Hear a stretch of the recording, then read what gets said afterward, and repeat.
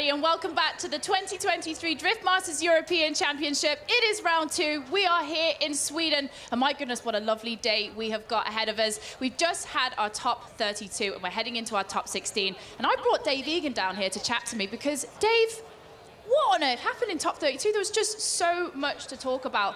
I mean, First of all, we've got to talk about the battle between Alex Holovnia and Peter Wieniawski. Yeah, it's, it's, a big battle for a turning point in the championship, and maybe early days to call it a turning point. There's still a lot of ground to cover in this championship. But Peter makes an error, and you know, it's a, we always focus in on it, but he makes so few of them, and that's the thing about him as a champion that you know that he's going to bounce back from this absolutely. But again, an uncharacteristic error, and it goes to show that Peter Wieniawski respecting every driver in this championship by pushing so close. Nothing is handed to him here, so he knew how amazing Alex was driving. Had to push a little bit extra. He made a small error, and it's a small error, but it made a big difference, and it knocked him out in the top 32. And a similar error to last year in the same corner. And to be honest, most drivers make a mistake in that corner, which is the slowest part of the track. It is, and let's cast our mind back to 2022 when we were here for the very first drift event, which was happening at this track. And it was the battle between Peter and Tor Arne Kavir, where it was literally just here. And he just got blinded by the smoke and ended up in the wrong place on the track, as you can see on the screen here it was just a small mistake, but it just cost cost everything. It does, and I think, you know, you could be harsh on Peter Wieniawski here and say there's a similar mistake in both, but he's one of the few drivers actually pushing in that area. He's trying to let the battle be in his decision by winning it, by being door-to-door, by putting on a show, but getting too close can often be a risk not worth taking, and for two years in a row, trying to put on that show has cost him an early exit. But what is drifting if you're not taking risks, Dave? You have to admit that. It's, it's nothing without those big show-stopping moments. For sure, and that's what we want from a champion. He's not here to just get the job done. He's here to try and put on a show as well and beat everybody with the best of intentions. But it doesn't always work out. It's an unpredictable sport. And if that or top 32 taught us anything, we know nothing about what's going to happen today because everybody we thought was going to win lost or broke down, and we're only halfway through. Now, I don't want to put my money on anybody just yet. But what I will say is Lauri Heinonen is absolutely flying. I mean, he's fresh off a second place at Mondello. He's come through topped qualifying. He's looking so strong out there, and he's ready for his top 16 battle. I mean, we haven't had a chance to chat to Lauri yet. I'm desperate. He's the hardest man to pin down at this track, apparently so. So as soon as I can get him down here, we'll have a chat with him. But talk to me about his driving. He's on rails. He is, and it's going to be very interesting in the top 16. Our first battle is going to be like a final for these guys, because I'll tell you why. Lauri Heinonen and Conor Shanahan are going, both going to look at Peter Wieniawski's exit as a chance for them to take dominance in the championship. But one of them is not getting past the top 16 here. So that's going to be treated like a final between both. And I've never met two more confident young men behind the wheel of a car like Heinonen and Shanahan. That's going to be a war on track. So our top 16 is absolutely so hot out there. I mean, everybody is just waiting to get into their cars. You can see at the parade here, it was just a wonderful display. It's so nice to see everybody out here. I mean, we've got such an amazing array of drivers. Kalle Rovanperä, I mean, obviously not the top 32 that he wanted, but the fact that he's here joining us for four rounds this year, that is a huge honor and so exciting. Yeah, and you look at the grid in the top 16 as well. It, it looks like a final. Every single battle there is going to be very toughly contested. And everyone in that top 16 now believes this is their moment. When they see, you know, some of the bigger drivers like Rovanperä, like Wieniawski having trouble on this track, they start believing this could be my my day. This could be the time I go home with the trophy. But there's a long way from here to there and a lot of incredible driving we're going to be witnessing over the next couple of hours. It is going to be a huge couple of hours and personally I can't wait to see all of the action that is coming up. So everybody out there watching, make sure you strap in. This is going to be a huge event. I'm going to let Dave run all the way back up to the tower Thank you, now. Uh, It's going to take him a while to get up there. So it's going to be a brilliant afternoon. Make sure you're all ready for this. I can't wait to get the action started. I'm going to hand it back to Ian Waddington. Ian. Thank you very much, Becky. Yeah, I am excited to get this one kicked off and underway. An exciting top 32 always leads into an unpredictable top 16. And well, where would we go from there? The Great Eight, the Final Four, the podium. Let's get into it. No fun time for messing around. It's the time for the top 16.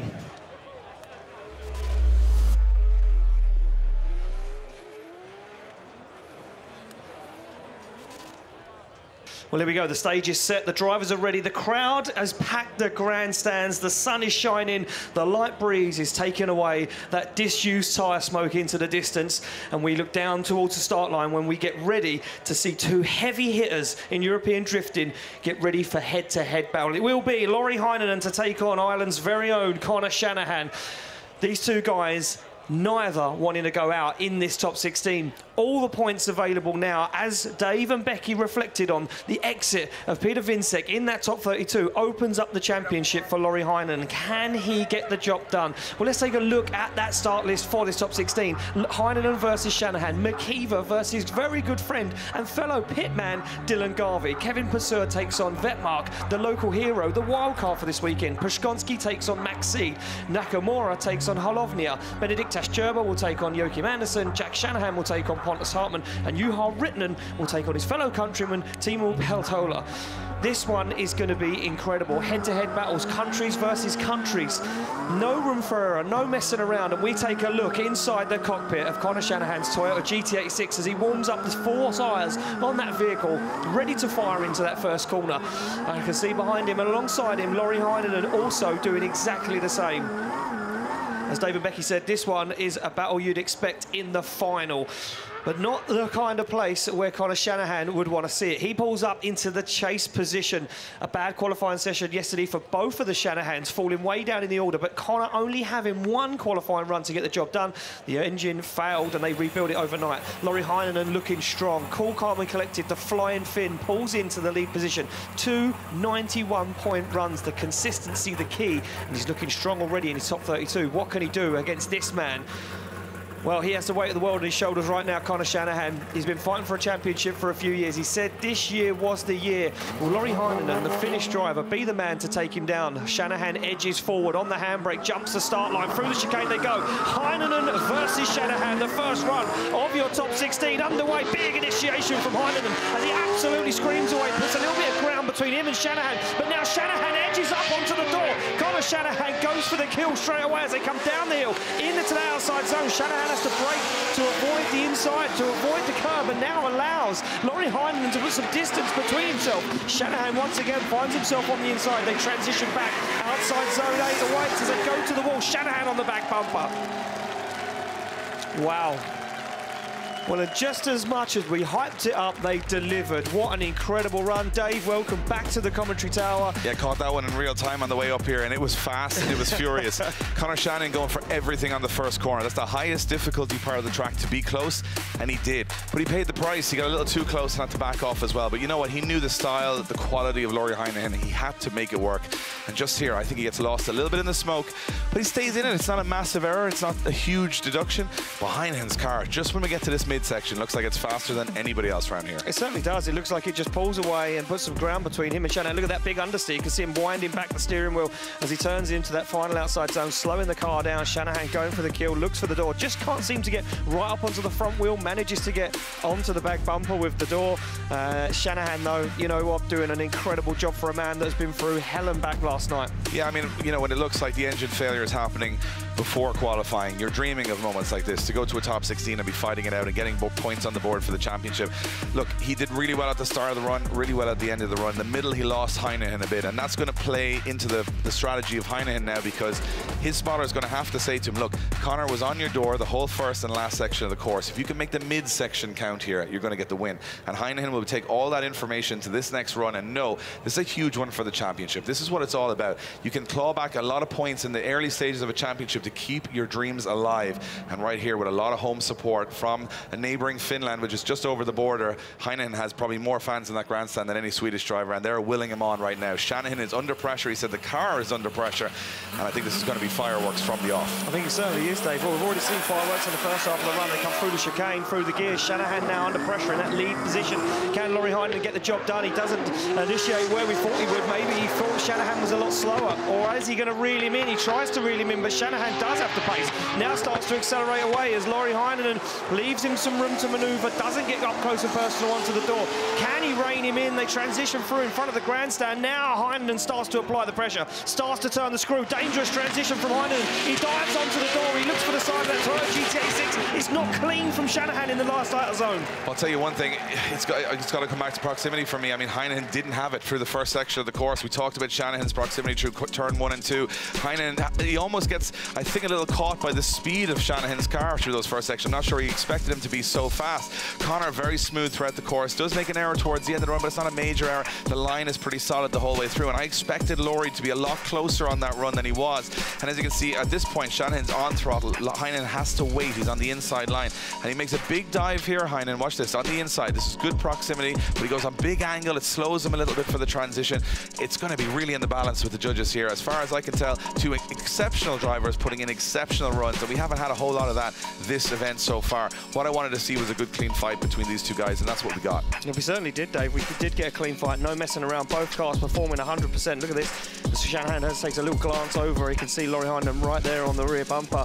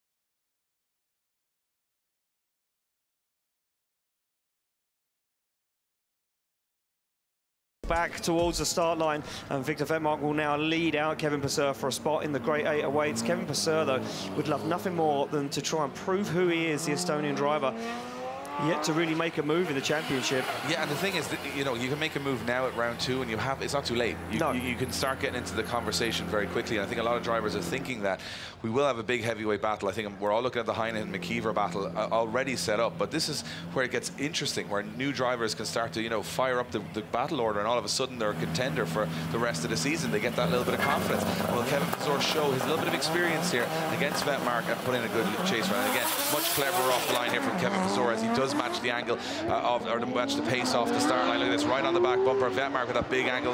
Wettemark does have a beautiful car, I will say, but he's uh, he might have a couple of scrapes on it by the end of this run as Kevin Pesur now starts to turn the screw and get a little bit closer. It's not really a little wobble from both drivers as they come down. Not both of them not perfect on that inner zone, but the lead run may be affecting the chase run. Drop of a wheel from Wettemark there as a transition. The Kevin Pesur backing off a little bit here, a little unpredictable in front of him from the lead. He just doesn't want to make any major errors. No massive amounts of proximity from either of these drivers. But look to me like Kevin Pesur just backing away, letting Viktor make the mistakes and letting him seal his own fate. Yeah, I think that's exactly what he's done. You can take a look at back at the replay of this one. And Wettemark doing, you know, everything he could in that lead position to try and claw back as many points as possible. He's way too deep there on the inner zone. That kind of upsets his line to outside zone three because he barely gets there. As he comes down the hill, we have to handbrake um, all the way through it as you can see there. And that cuts him too close on the inside. It takes too much of a bite at that inside zone. And then he's way wide on that other outside zone. So a lot of mistakes creeping in, yeah. that lead position. It's all a knock-on effect on this track. You yeah. make one error in one zone, you might get away with it, but it'll punish you later down the line. And Wettemark dropping a wheel off the track. Kevin Pesur doing the right thing, backing away, saying, this guy might be a little wayward in front of me. I don't want to end up in a collision where I spin out and incomplete.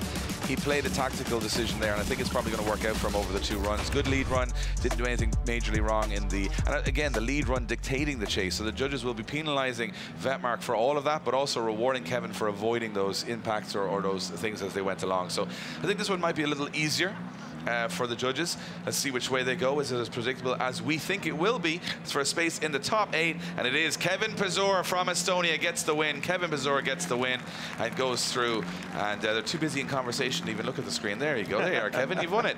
Well done. He was having a good conversation there, and he will be delighted. First top eight finish for him, and Kevin will be. And this is where confidence is built. It, it's one of those things, you know. And uh, the mistakes from Wettemark in that lead position probably seen in the deal, I think, for me. Uh, not a clean lead run, and it was no. clean from Kevin. So Kevin's delighted. He gets back in the car. He'll be into the top eight as we move on to a pretty interesting battle lining up here on the start line. Well, where would you see it? You've got a Dakar winner and a rally winner going up against a guy from Kuwait, both of them with two JZ-powered cars in Sweden. Welcome no, to Driftmasters. No, one's got a V8 turbo. Oh, one has a V8 turbo? V8 turbo in Ali Max's well, that's car. The, the, yeah, well, that makes it all. That makes it all better. That, that, that fixes wow. the whole So we situation. got Kuba Przygoński, uh, who has been on rails this weekend. Really strong on that GR86. He's gone up against a debutee, which is Max Never competed before in Drift Masters. Could go all the way to the top eight in his first. That would be a dream come true. We're about to kick him off the line and see what happens. Yeah, we certainly are. Through the chicane they go. It's going to be Przygoński to lead out Makhseed through the gears. Przygoński, nice initiation, but Makhseed's right with him with Seed.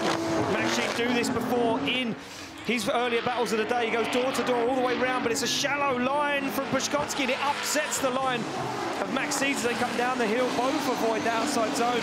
Start to get back into it now. Maxi trying to rein back some of that lost ground, but I can only say that that was done by Przygoński's bad transition up into the door in the outside zone. They go across the line. Dave, not a clean lead there from no, Przygoński. it's going to come down to that one moment because the judges are going to say if that cost Makhseed all, like, watch this. So everything's A-okay. We're having a great time. Everybody is where they need to be. Watch Przygoński in the lead here. He wobbles and straightens a little bit at this point. He's trying to get to that outer zone, but he's kind of straight. He doesn't get there, and he, try, he pushes Makhseed into the wrong position. Now, the judges are going to decide, was Makhseed holding on too long? Did he make the error by going too close, or was Przygoński on the wrong line? I'm looking at it again saying you could argue for either, because yeah. you could say that Max stayed too much on the inside of the track and kind of caught himself up a little bit, but you could also say Przygoński was in the wrong lead position. So uh, the rest of the run is kind of defunct after that, because that's why Max isn't there, and that's why the advantage to Przygoński for the rest of the run it's going to come down to that moment. I think we're going to we're going to hear an explanation from yeah, the judges for, sure. for, that and what way they've called. And I think the result is probably going to be a little bit dictated by that. But they have one more run to go. It's not over yet, uh, but it looks to me like it's just those transitions, that qualifying line. Kevin O'Connell, you know, blue in the face talking about this qualifying line. You got to be on it. But a fair play to Makhseed and Przygoński. They stay in it, they stay on it, and they're door to door as they go across the finish line. They certainly are door to door as they go across the finish line. But now we get to swap them around. They make their way back towards the start line, and it will be Ali Makhseed to lead out uh, Jakub Przygoński. Przygoński for me now really needs to be glued to the side of that Nissan 206. I'll tell you why Przygoński's a little late back to the, to the start line here because he's got time. They've got two minutes to get back there. He's on the radio. He's talking yep. to his team, and they're not going to be able to give him a clear answer here because on first look it looks like Makhseed's made the big error and he's been left for dead. But then they've also heard probably our commentary and our decision making up here, which is obviously not going to decide anything, but saying there could be an issue with your transition. Yep. So when he comes into this chase position, this is why he's having the longer conversation because how aggressive does he go? If he's at a disadvantage, he's got to absolutely blow the doors off Makhseed's S15 here, or does he back away knowing he's got an advantage? I don't think he's going to know that for certain, so he's going to have to go for it. He's going to have to go for it. There is no room for error. He has to make the kill. He has to get the job done, as we like to say. And Makhseed, he's not going to want to go out of competition this early already on his uh, debut here at the Drift Masters European Championship. Makhseed fires through the gears, big initiation on the handbrake, straight line initiation, but gets the job done now. Przygoński starts to push up onto the side, gives him the room to manoeuvre. Is a much nicer lead from Ali Makhseed as it allows Przygoński to tuck up on the inside, but he's on the throttle nice and early as Makhseed as he fires through almost two wheels into the grass there as he goes way wide. Przygoński now looks for the dive off on the inside, looks for the ground, gets into the outside zone, but Makhseed fires it clean off track. I can't believe what I'm watching. I was just about to say that was an incredible lead run from Ali Makhseed, and I, even thinking it probably put him off because he went straight off the track. That looked to me like some sort of steering issue or mechanical issue because the car just completely shut off power and he flew off the track. And that might have made a very difficult decision for the judges a lot very easier. Very easy, yeah. So it's going to Oh, and his wheels on the inside there. Przygoński as well on the chase. So he was making more mistakes as well in his chase there, Dave. This wasn't going the way that Przygoński wanted it. Look at the wavering and wobbling and the lead from Ali Makhseed was absolutely unbelievable. Yeah, it takes a little bit too much out of it here. Does well not to yeah. go off the track. Holds on to it. But as he transitions back towards this last section, you can see uh, this is uh, just trying to get in, uh, get the nose in, and then this is where Makhseed goes a little bit wide, but he doesn't hit those outer cones. Now just look at the rear end of the car as he as he transitions in here. That smoke cloud starts to dissipate from the back wheels, and it's it's it's game over. Something went wrong with Makhseed's car there. Um, not too sure what happened. And again, I think that's going to seal his fate here. As Ali Makhseed and Przygoński wait for the decision, it's for a space in the top eight. And Jakub Przygoński, Kuba goes through to the top eight. No questions there. And just a quick one, Kevin, because we know it decided itself. But Kevin, what was your call on that, that little bit of a wobble that both drivers had on the first one? To be honest with you, Dave, we were still debating it here. We weren't actually too sure. Um, gut feeling, I guess, from analysing it briefly before the second run was that uh, Kuba was actually offline. You could see that he had a quite a significant wobble just coming up to outer zone three, and that affected him actually getting to outer zone three. And then when you see how much proximity Ali had, then we were probably going to go with uh, Kuba being at fault and Ali not having room to properly transition. At the end of the day, we're encouraging drivers to have proximity and to be able to take those risks. And with Kuba not being in the correct part of the track and not transitioning in the correct part of the track, we probably would have gone uh, with the side of Ali for that uh, for that error. Thanks, Kevin. It, it, oh. I, love how we said easy decision for the judges, but we'll ask him anyway. we'll put a difficult Do you know what, heartbreaking because it was all Ali Makhseed until he yeah. went off track. Look, actually, I shouldn't have asked. It, it would you shouldn't have asked. Yeah, it would have been better. Would have been better for all of us. Here we go, back on the line. Alex Holovnia sits alongside probably a man that he's looked up to for many, many years. Naoki Nakamura sits in the lead position in a top 16 at Drift Masters. Dave, could you believe it? And I'm looking at Alex Holovnia going. He woke up this morning, had a slice of toast, and said, "Might be Peter Jones like Nakamura in one day," and that could be the reality. We don't know. Holovnia is incredibly confident right now. And you look at Nakamura, who we don't know what he feels because he doesn't speak any English, so we can't just assume he's having a great time. But what I will say about Nakamura is he's been here and done it before, so he's going to start turning it on from the off here. He is turning it on from the off straight away, through the gears, absolutely hammering, fires that car in, and he leaves Holovnia for dead at the moment. As Holovnia has no answer, he's going to go super wide. He holds onto it though as he transitions through down Very into shallow the outside angle, but nice line. Alex Holovnia, no answer at the moment. Yeah. Four, very slight wheel drop. by Naoki Nakamura trying to wait to see where the transition ends up by for Alex. Nakamura. Nakamura gets into that outside zone, across the line. That's all Holovnia on the back bumper though. So we're going to take a look back at the replay of this one, Dave. This one I thought would have been a lot closer, to be brutally honest with you. Yeah, so here's the problem I have with this is that You're analysing it like a robot. You were staring at that then like it was AI breaking it down. Yeah, I was trying to think of it. Now, Nakamura doesn't have a crazy amount of angles for the first of the course, but he's No. super fast. But he, ma- Incredibly and he makes it work. Yep. He gets all the zones. Holovnia, I don't think, predicted any of that speed. And Nakamura, who's been a little wayward at times in practice, it goes to show that we always talk about Nakamura, you know, from watching so many videos and so all the way back to almost VHS of, of Nakamura. And he's, a, he's, he's all about the chase. Yep. That's his thing. Big angle and chase driving, that's what he's renowned for. But then he went and won a couple of championships in Japan because he tidied that style up and built those other parts of his game. And, you know, the, the, the smooth driving, the angle. Then he's got to come to Drift Masters and completely relearn that because it's a totally different style of drifting. What I'm looking at here is the danger that we've just watched is Nakamura is on the perfect lead line. So now we don't have to worry about his ability in the chase. No. He's figured out what the judges want in the lead line, which now makes him a very difficult proposition for the rest of the grid. And it's taken him a little while. He hasn't got off the mark in Ireland with an engine failure. He's done okay in qualifying here, but qualifying isn't his strong suit. The battles are where it's won and lost. That's where you get the trophies. No one ever got a trophy in qualifying. So it's going to be interesting to see how he goes up against Holovnia here. But remember, Peter Więcek made the mistake at the end of the run against Holovnia, and Nakamura is going to have to be thinking about that along the way and thinking, oh, I don't want to make the similar mistake here as well. So there's a lot of games being played here. There's a lot of those drivers figuring out what they, what approach they want. I don't think Nakamura knows anything other than full tilt into this first corner on the door. So we're going to be sitting back and watching some expert driving here. We certainly are. Look at this, he's already on the back bumper of that BMW F22 as he dives up on the inside of the door. Holovnia fires through, looks for that inside zone, and Nakamura is on the door. He's wobbling and wavering, but can he hold it together? He's a little shallow on the inside. Not what the judges wanted to see. Now he goes wide. He's lost in the smoke. Ever so slightly straightens there as he transitions. He's on the handbrake once again. He once again finds the door. That BMW F22, but he parks it in the outside zone. On the door goes Nakamura across the line. That is amazing driving from both of those guys. Holovnia stepped the level up, Nakamura stepped the level up, and you could see Nakamura's tactic there. He was winding out angle to be close. The judges are saying, we want to see some proximity. We're encouraging proximity. Well, Kevin, David and Vernon, you got some proximity. That's exactly what Nakamura brought to that battle. Some errors, sure, but lots of proximity. Plenty of proximity. Look at this. Look how close he is. I don't think he evades that onboard camera once, but there was some errors creeping in there. Look, he shallows up the angle, mistimes that transition, finds a wheel on the inside. Judges are not going to like that. Although he did have that proximity, you could see where the mistakes were creeping in as well. Another mistake here on the middle of the circuit has to reinitiate down onto that outside zone. Yeah, well, the thing is, he's got the proximity, so he's going to get that little level of forgiveness from the judges. Yeah. Where Holovnia was making some errors, but he was way back. He wasn't having that proximity on Nakamura. So, to me, lead runs look pretty similar. Chase runs, Nakamura's got more proximity and more errors. What does that mean? I have no idea. The judges are going to figure that one out. But that, to me, is the, is the story of that battle. It certainly is.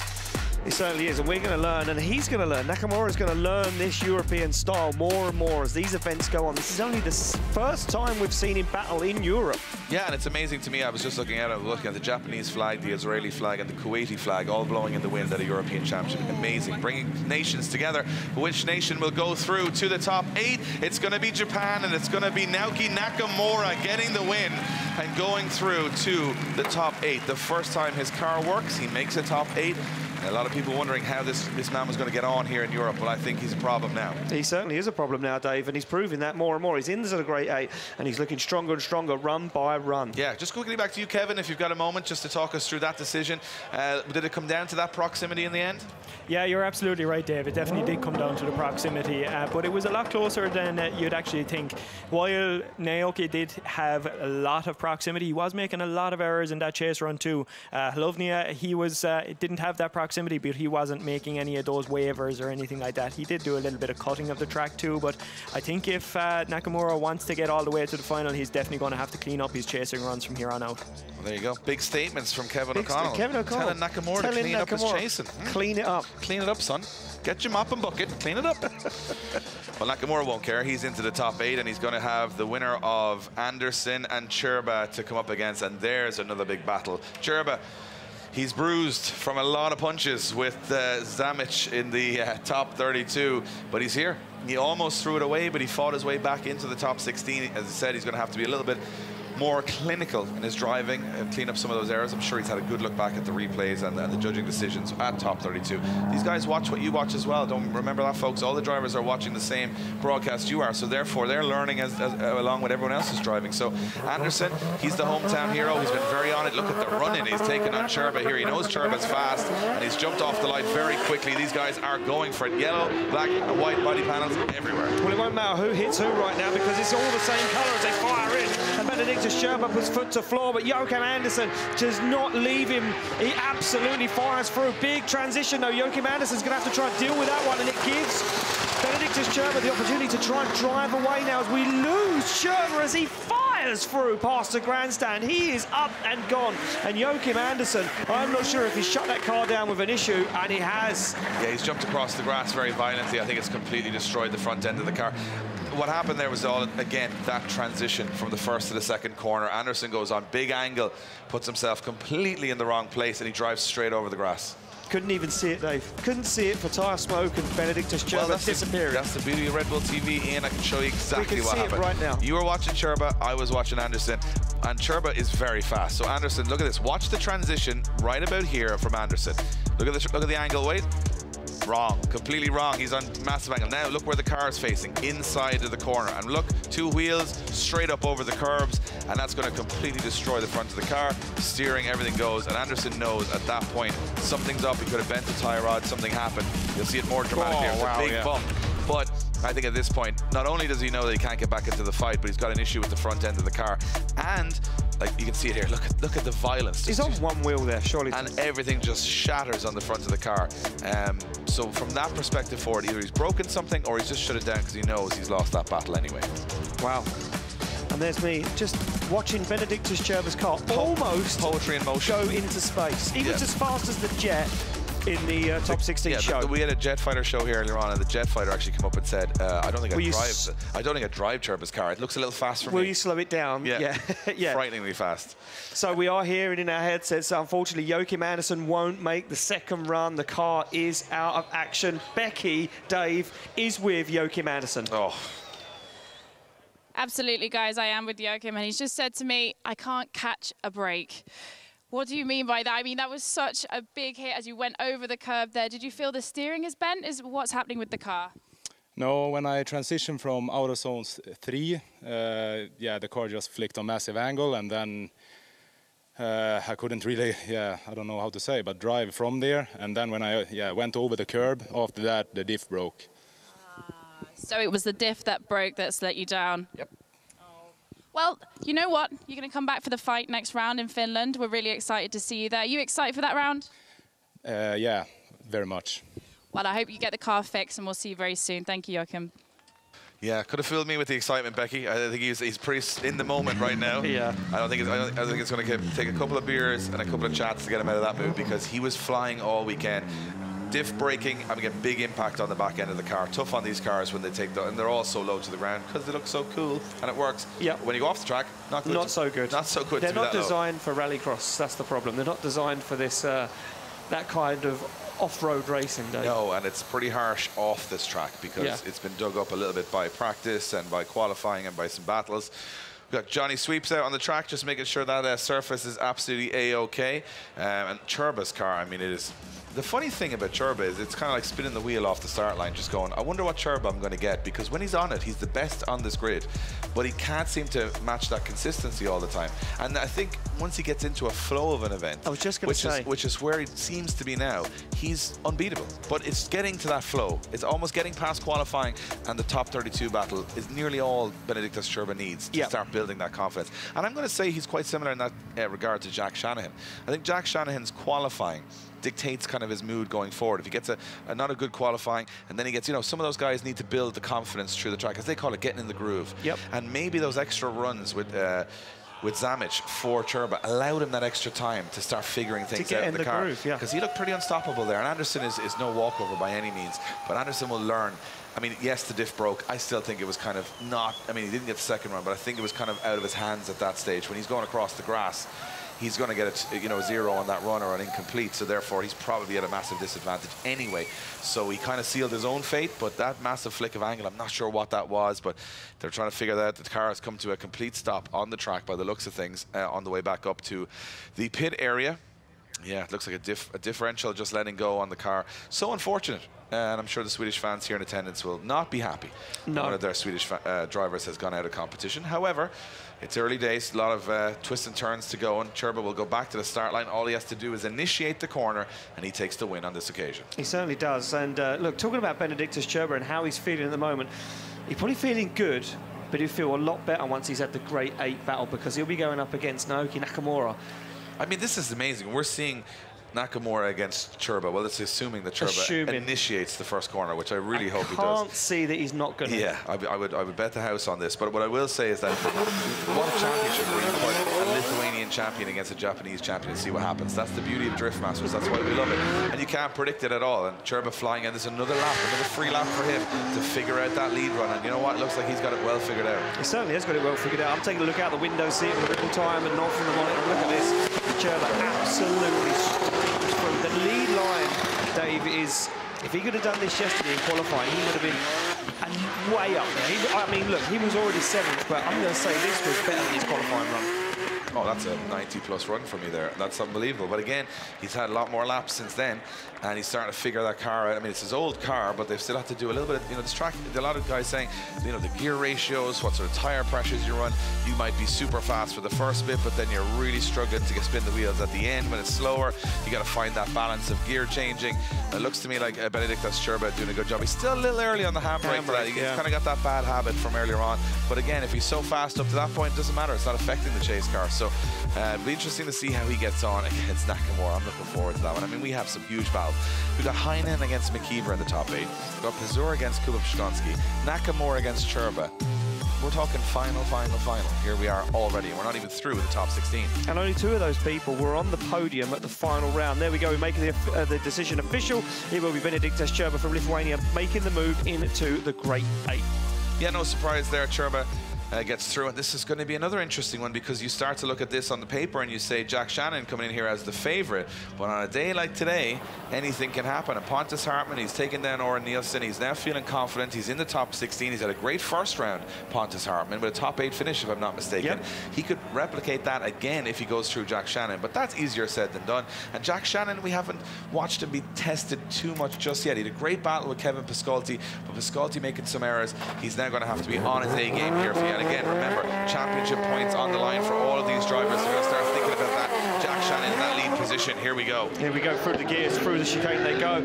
Jack Shanahan to lead out Pontus Hartman. Pontus Hartman goes up onto the inside, looks for that inside line, tries to dive in and get a clear view down the side of that Toyota GT86. But Shanahan's on a ripper as he goes right to the edge of the circuit, onto the handbrake, perfectly timed. Pontus Hartman taking a clever chance here and staying on that qualifying line. Looks to regain some ground now as he shortcuts the outside zone, almost makes contact, goes for the dive in the final outside zone. And Shanahan lights up the tyres. Hartman's with him across the line. Yeah, textbook Shanahan, and that's that's what that is. I mean, he's gone out there, he's put in a phenomenal run. He actually makes a little bit of an error for me, but he he's so good that you wouldn't notice it because he actually handbrakes a little earlier to extend Yeah. the zone. But he makes it work, even when he's in the wrong part of the track sometimes. This is absolutely beautiful from Shanahan. But watch this as he comes back. He pulls the handbrake here just to adjust his line. Not major mistake, but again, it doesn't affect Hartman, so the judges aren't going to be too hard on him for it. After that, Shanahan is really fast through the course. I got to give it to Pontus Hartman, though. He doesn't fall out of favour. He stays in the game. He still has a fight here with Shanahan, but he's putting the track quite excessively to do it. Um, I think advantage Shanahan maybe after the first run, but Pontus Hartman still very much in this one. He certainly is. And look at this. He goes for the dive up to the door, sees Shanahan in that outside zone. Just takes a little look up onto the inside and says, well, that'll be a job done for today. Yeah, and I think this is, you know, another driver, and I mentioned Shanahan in the same breath as Čirba, where once they get in the groove, once they start to feel comfortable, they start to produce, they start to get confident, and then they start to do better runs than you've seen in qualifying, and better lead runs. And I think Shanahan's best run in the lead position was probably that one of all the runs we've Yeah. seen today. So he's getting better as the runs go on. Čirba's getting better as the runs go on. And you know what? That's where we're seeing these guys use their experience to learn fast as they go. What does Pontus Hartman do in this position? Well, he's at a disadvantage. He's got to put in a solid lead run. The lead run has to be exceptional. But Shanahan is going to be right there on his door. Now, we've watched Jack Shanahan pull off some amazing chase runs. We've also watched him make some mistakes in the chase position. He's going to have to manage that aggression here if he wants to get through to the top eight. Shanahan's definitely got his eyes on the prize and his eyes on two times at this track winning. And he'd be the only man to ever win a drift event at this event after two events. that would be an amazing achievement. But Pontus Hartman's not going to lie down here. He certainly is not going to lie down. Well, we get the green light to go. Hartman to lead out Jack Shanahan for a spot in the Great Eight. Waits through the gears, goes Pontus Hartman. He'll want to get this one done for the Swedish fans, but Shanahan won't let him go down without a fight. They fire through Pontus Hartman on that qualifying line. Shanahan almost backs it in as they transition. Shanahan loses a little ground there, but now starts to raid it back in. He's shallow as he comes down in front of the grandstand. Pontus Hartman absolutely drives away, and now Shanahan has to shortcut that outside zone. He dives in outside zone 8. Hartman wanders and wavers in that zone, and across the line they go. Very interesting battle. It- you know, I think that's another case of going too close on the first corner. Shanahan goes right in there. He's in the pocket. You can barely see him. And as he's close to the lead car, Hartman is on the right line as far as I can see it. I mean, it, it looked to me like he was doing a pretty okay job, but Shanahan gets caught a little on the inside and he has to transition in an uncomfortable position. Uh, does a good job of staying in the fight, doesn't make a major error, but watch how close Shanahan gets here, and then he's got to back off dramatically. And as he transitions here, Shanahan, watch this.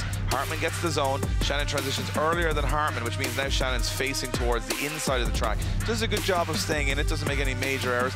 Does follow Hartman, but Hartman's got the run out of the corner, and that's where Hartman puts the pain in. He starts to, to take away from Shanahan. Shanahan then does a late transition. So where I would have said an advantage to Shanahan on the first run, Hartman definitely staking a claim on the second. Oh, I'd like to throw my cards in the air for this one and just say I'd like to see it go one more time.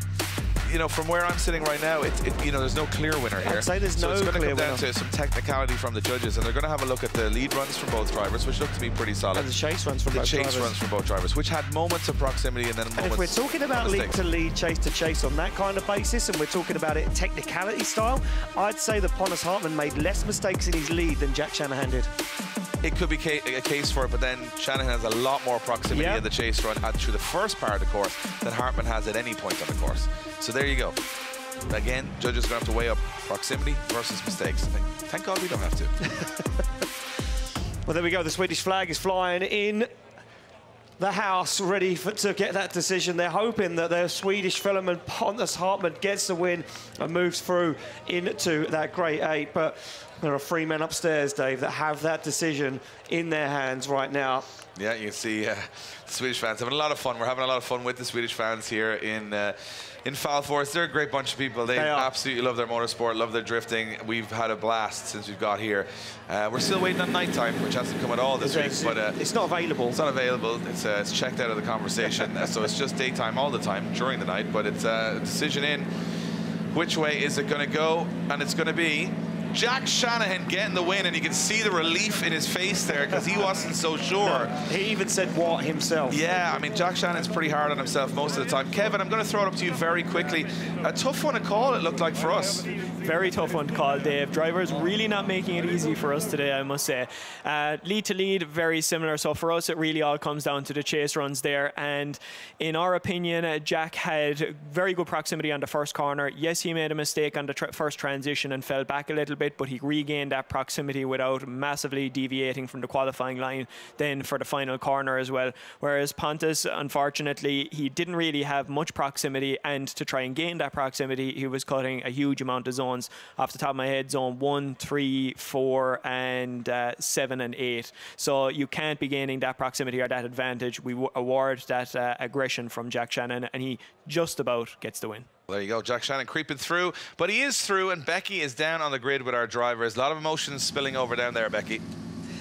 Absolutely, Dave, but there is a big smile on Pontus's face right now because even though you might not have got through this top 16 battle, you're still sitting eighth in the championship and you're feeling good. That's what you just told me. Yeah, I'm feeling great. Um, of course, it's a shame going out in top 16 in Sweden, But yeah, I know Jack is super fast, and I had to try, yeah, more than I have. And uh, my chase haven't been spot on, but I tried, and I was super blind the whole first part of it. But I knew he's fast, so I could just pin it. And when I came out of the smoke, he wasn't in the way. So yeah, it feels it feels great. It does, yeah. So uh, good points. Uh, yeah, for so yeah, hopefully everything goes well. And the battle you had with Oren Nielsen earlier, I could see you were just so delighted to see him out on the track. No matter what happened there, it was just a great moment for the sport. Yeah, I mean, a Scandinavian body, and it's heartbreaking to roll over like that. And also, I didn't want that win to, to be a one more, uh, or a Byron. I just want him to get out there uh, so we could do it up out here. And he did an amazing job for doing what happens before. So, yeah, I think it was a close one there as well. So, just super proud of his team for doing what they did, getting me back out. It was a, it was a pleasure to ride with him. That's a lovely sentiment. Thank you so much, Pontus. We'll see you next time. Now, Jack, wowee, that first corner, you backed it in. Yeah, it was a fairly full sin, to be honest. The car was really, really hooked up in the lead run. Um, we just, I just knew I had to throw it all at it, you know, and I haven't done like a solid lead run yet, so I'm kind of taking every lap as it comes and just, uh, just trying and trying and trying, I guess. But yeah, no, it was a good battle all the same, so happy enough. Good luck, Jack. Maybe this uh, it's time for round two. See you soon. Thanks, Becky. And there we go. Jack Shanahan gets the win, advances through into the Great Eight. Pontus Hartman still happy, but still upset that he never got to fully battle Oren Nielsen. That is just how much it means to these guys. We go back to the start line, though, to the next battle, the final battle of our top 16. It will be Juha Rintanen to take on Teemu um, Peltola. Two good friends, two sworn enemies. Like most of these guys, they're friends in the paddock, but when you get them on the racetrack, the visor goes down. It is battle time. Peltola sits in that Mercedes-Benz wagon, diesel-powered, 3.2-litre straight six, twin turbo, 1,200 newton meters of torque car. Does it make sense? It never does at the Drift Masters European Championship. He slots through the gears. And lead him in will be Juha Rintanen in this incredible GR86. Through and starts to already put some ground between himself and, and Teemu now as they fire through. Peltola struggling with that transition, just can't get it right. Now the ground starts to open up massively as Juha Rintanen looks down in front of the grandstand, fires through, looks for the final transition. Teemu just can't get back any lost ground as Rintanen looks for the wall, gets the job done across the line. I'm going to bring back to a conversation that Ian and I had earlier on today, and I started to talk about Juha Rintanen and saying, you know what, everyone's sort of he's quietly going about his business, but he's like a fin in the water for me because, and I didn't. I like I, it. You see what I mean? Yeah, I like it. So the reason I'm saying that is because he's so fast, but he's so consistent, and it's just really shown there how fast he is on this track because he left uh, team so far behind on that that I don't think there was anything he could have done differently. There was just so much speed in that GR86. It's incredible, and I think that's the, you know, it's one of those aces in the hole that that that Rintanen has. It seems like he's got an 11 switch on that car that he can just go faster than everybody else. And right now, it takes a huge advantage into the second half of this battle. So from that perspective, I'm just saying, don't sleep on Juha Rintanen right now. I mean, I've got to watch a chase run to really feel confident about it. But he's another driver that, you know, hasn't made any mistakes this weekend. He's looked very solid.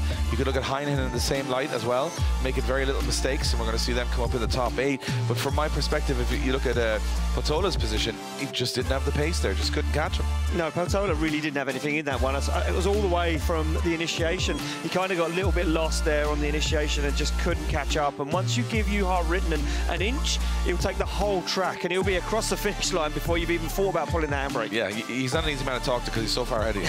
he's just, you know, and, and, the thing about Juha is he, he's very calculated. He's a, he's a real professional driver. He, he thinks about things. He, doesn't overcommit, and that sometimes can be his detriment. He doesn't risk too much, which means that he doesn't often get those door-on-door -door battles. Like, but again, once he's in the zone, and it depends on the track. And I've, I've talked about this with some of the judges. Some of the Scandinavian drivers, like Juha Rintanen, they come alive on these faster tracks. This is very much a Scandinavian track. Big corners, lots of power, lots of speed. For some of you know the Western European drivers I'm very used to tight technical circuits, and we've got a mix of all across this calendar.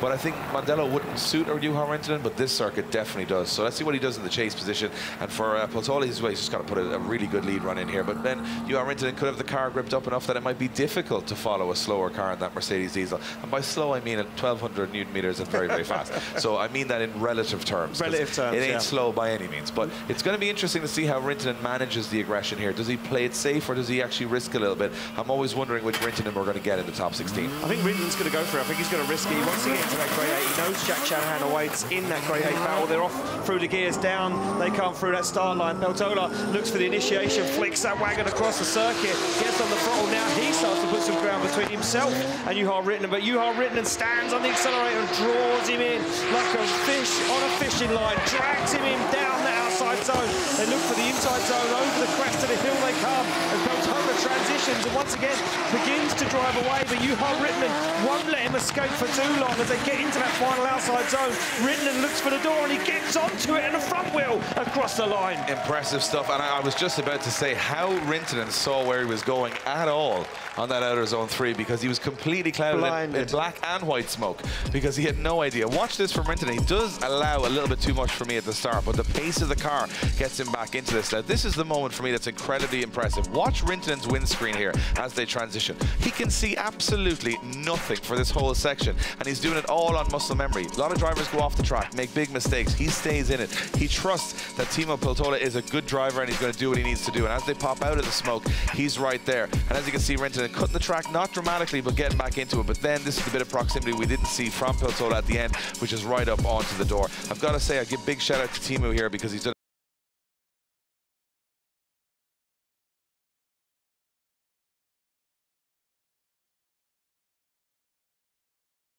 cool shots and stuff on this car, producing smoke from every single side. I like the way it's coming out of the rear door. Yeah, it comes out of That's the rear really door, cool. comes out in front of the windscreen. It's almost like a little train, choo-choo, going down the track. Amazing. So uh, you can see how Juha Rintanen's like, I don't know what's going on. It, it- I could see, I couldn't see, uh, but they're going to get a decision from the judges. It's going to be for a spot in the top eight. Who is going to take on Jack Shanahan? We're about to find out. It is going to be Juha Rintanen gets the win. Juha Rintanen gets the win and goes through to our top eight. Rintanen, and I mean, for me, it looks like uh, I'm going to go quickly over to Kevin. Kevin, it looked to me a little bit like uh, it was just that bit of proximity. That little bit of proximity from Juha at the end was probably the turning point. Yeah, it absolutely definitely does come down to proximity and those lead runs relatively similar. Um, a couple of mistakes there, but but um, overall it all really came down to you as proximity. He had just the right amount of aggression that he had had to do to take the win overall. Yep, I'd say uh, Juha Rintanen delighted with that. Well, I'll tell you what, we'll find out from the man himself. Becky is with Juha. He's into the top eight. Phenomenal of driving from the Finn. Yeah, absolutely brilliant driving. And I just said to Juha, that looked like a lot of fun, and he nodded his head. I have to ask the question you're dodging tyre smoke, but then also the black smoke from the diesel as well. What is that like? it's very difficult. Like, like just now driving through the smoke, I couldn't see anything for maybe four seconds. Just keeping Floyd in and hoping that he wouldn't be there, so I wouldn't hit him. But yeah, there's extra factor with Teemu with the black smoke also. Sometimes we, I don't have any side windows, so the black smoke comes straight at me, so I have to wipe my visor from the smoke. It's good, great fun. Always fun to battle a fellow Finn here. Can you feel the support from all of your Finnish uh, Finnish fans? Yeah, for sure. For sure, there's lots of Finns here, so it's good to see the support, and I think Finland will be even crazier. So. Excellent. We look forward to seeing everybody in Finland. See you soon. Well, we're back uh, in a few moments' time with our top eight, and I'm just trying to do the math on this. So we've got two Finnish, we've got two Irish, we've got an Estonian, we've got a Japanese, and a Lithuanian in the top eight. So try and figure that one out. It seems like this is very much a mixed championship of many different nations, and we have got an incredible lineup for that top eight. Heinonen beats Conor Shanahan, big move for him. He goes up against Duane McKeever. Everyone's going to be keeping an eye on that one. Then we've got Kevin Pesur and Przygoński, who will all, one of those will go to the top four, and that's going to be a very tough battle. Čirba and Nakamura, another massive battle. And then you got Jack Shanahan against Juha Rintanen. Well, if you're not really, really excited for that, I don't know if you're a Drift fan, because that is some incredible drivers, a mix of chassis, performances, and everything all mixed together. And now we'll only find out of those eight, three that will stand on the podium. But none of those guys care about the podium. They care about one place on the podium, and that's top spec. And we are coming to that very, very shortly.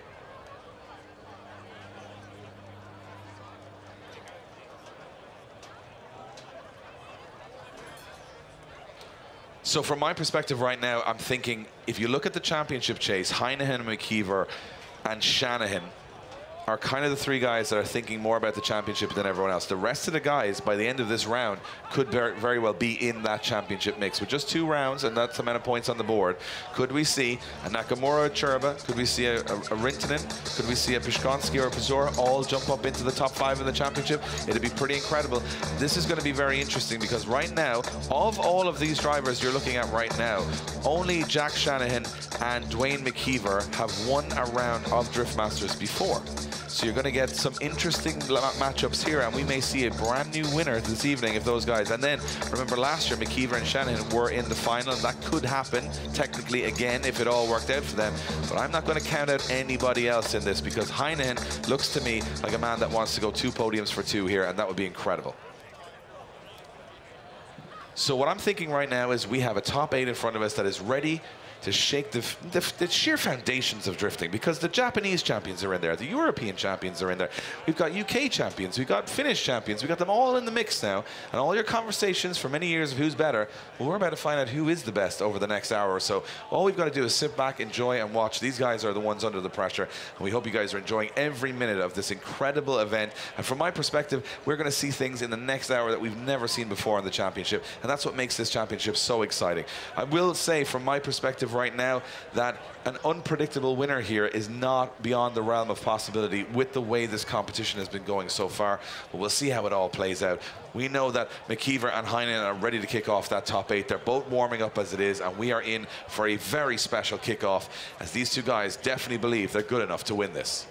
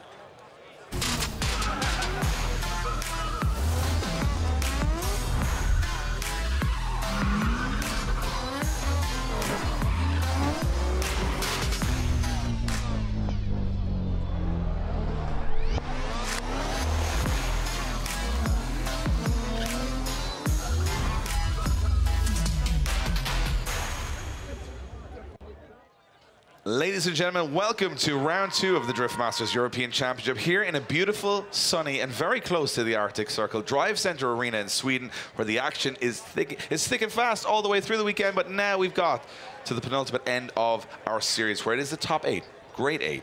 And there's eight drivers from four different nationalities that are ready to try and step on the top step of the podium. Now, this is a action-packed season we've got for you guys. It is going to be all across Europe with many different circuits and very, very different challenges. We've already been to Mondello Park, where winner and current champion Peter Więcek took the top step, but he went out in the top 32 here in Sweden earlier on. And here we are, obviously, in the Drivecenter Arena, which is proving to be a very tough, challenging track for everybody. But what also will be tough is on the 7th and 8th of July, we're going to the Power Park in Finland, around a theme park where drifting's happening. Doesn't have to make sense. It won't, it might, who knows. We're then heading to the Party Central of Europe, Riga, Latvia, for a very challenging and fast circuit.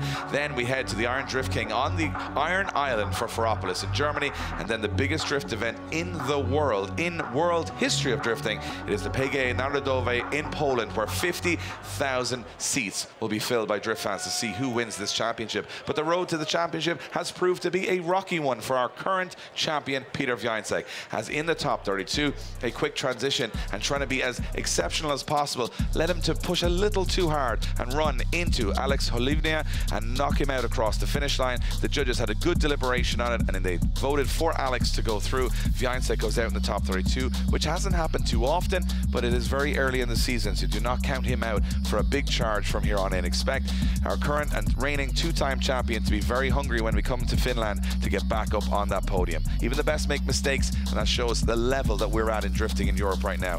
And it's going to be an amazing top eight ahead of us. We have got some of the best drivers in the game and some that have never even been in this position before in a competition. First timers, we've got new guys who, and also we have the two guys that came first and second last year still in the mix. All to play for, but let's look at the track that these guys will be attempting to make a name on. This is a tough track. This is really, really tough. It's Fallfors in Sweden. It is an incredible facility. Brand new track with two deceleration zones, six outer zones, and two inner zones. The track length is 640 meters long. It's first, second, third, fourth gear off the start line.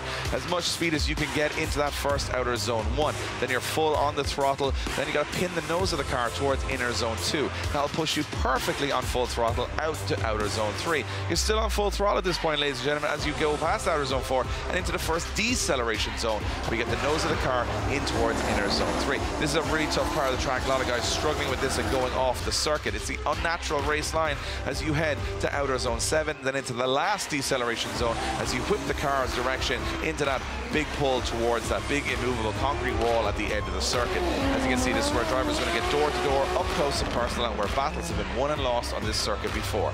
That is what they're up against. Three judges, Kevin O'Connell, Vernon, and David will be making the call, and we're heading towards our top eight. My name once again is Dave Egan. I'll be talking you through all the action with my good friend Ian Waddington. Ian, what I'll tell you what is, look at this top eight grid and tell us what it means to you.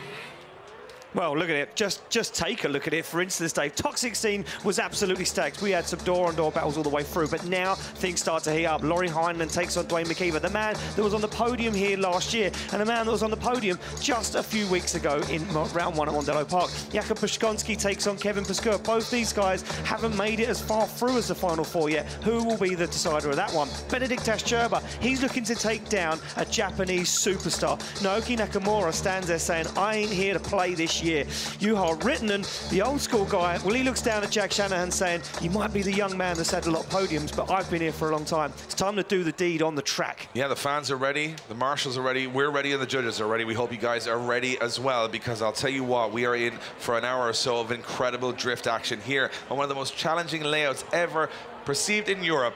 Guys, the time for talking is over. The time for driving is here. Let's head to the top eight.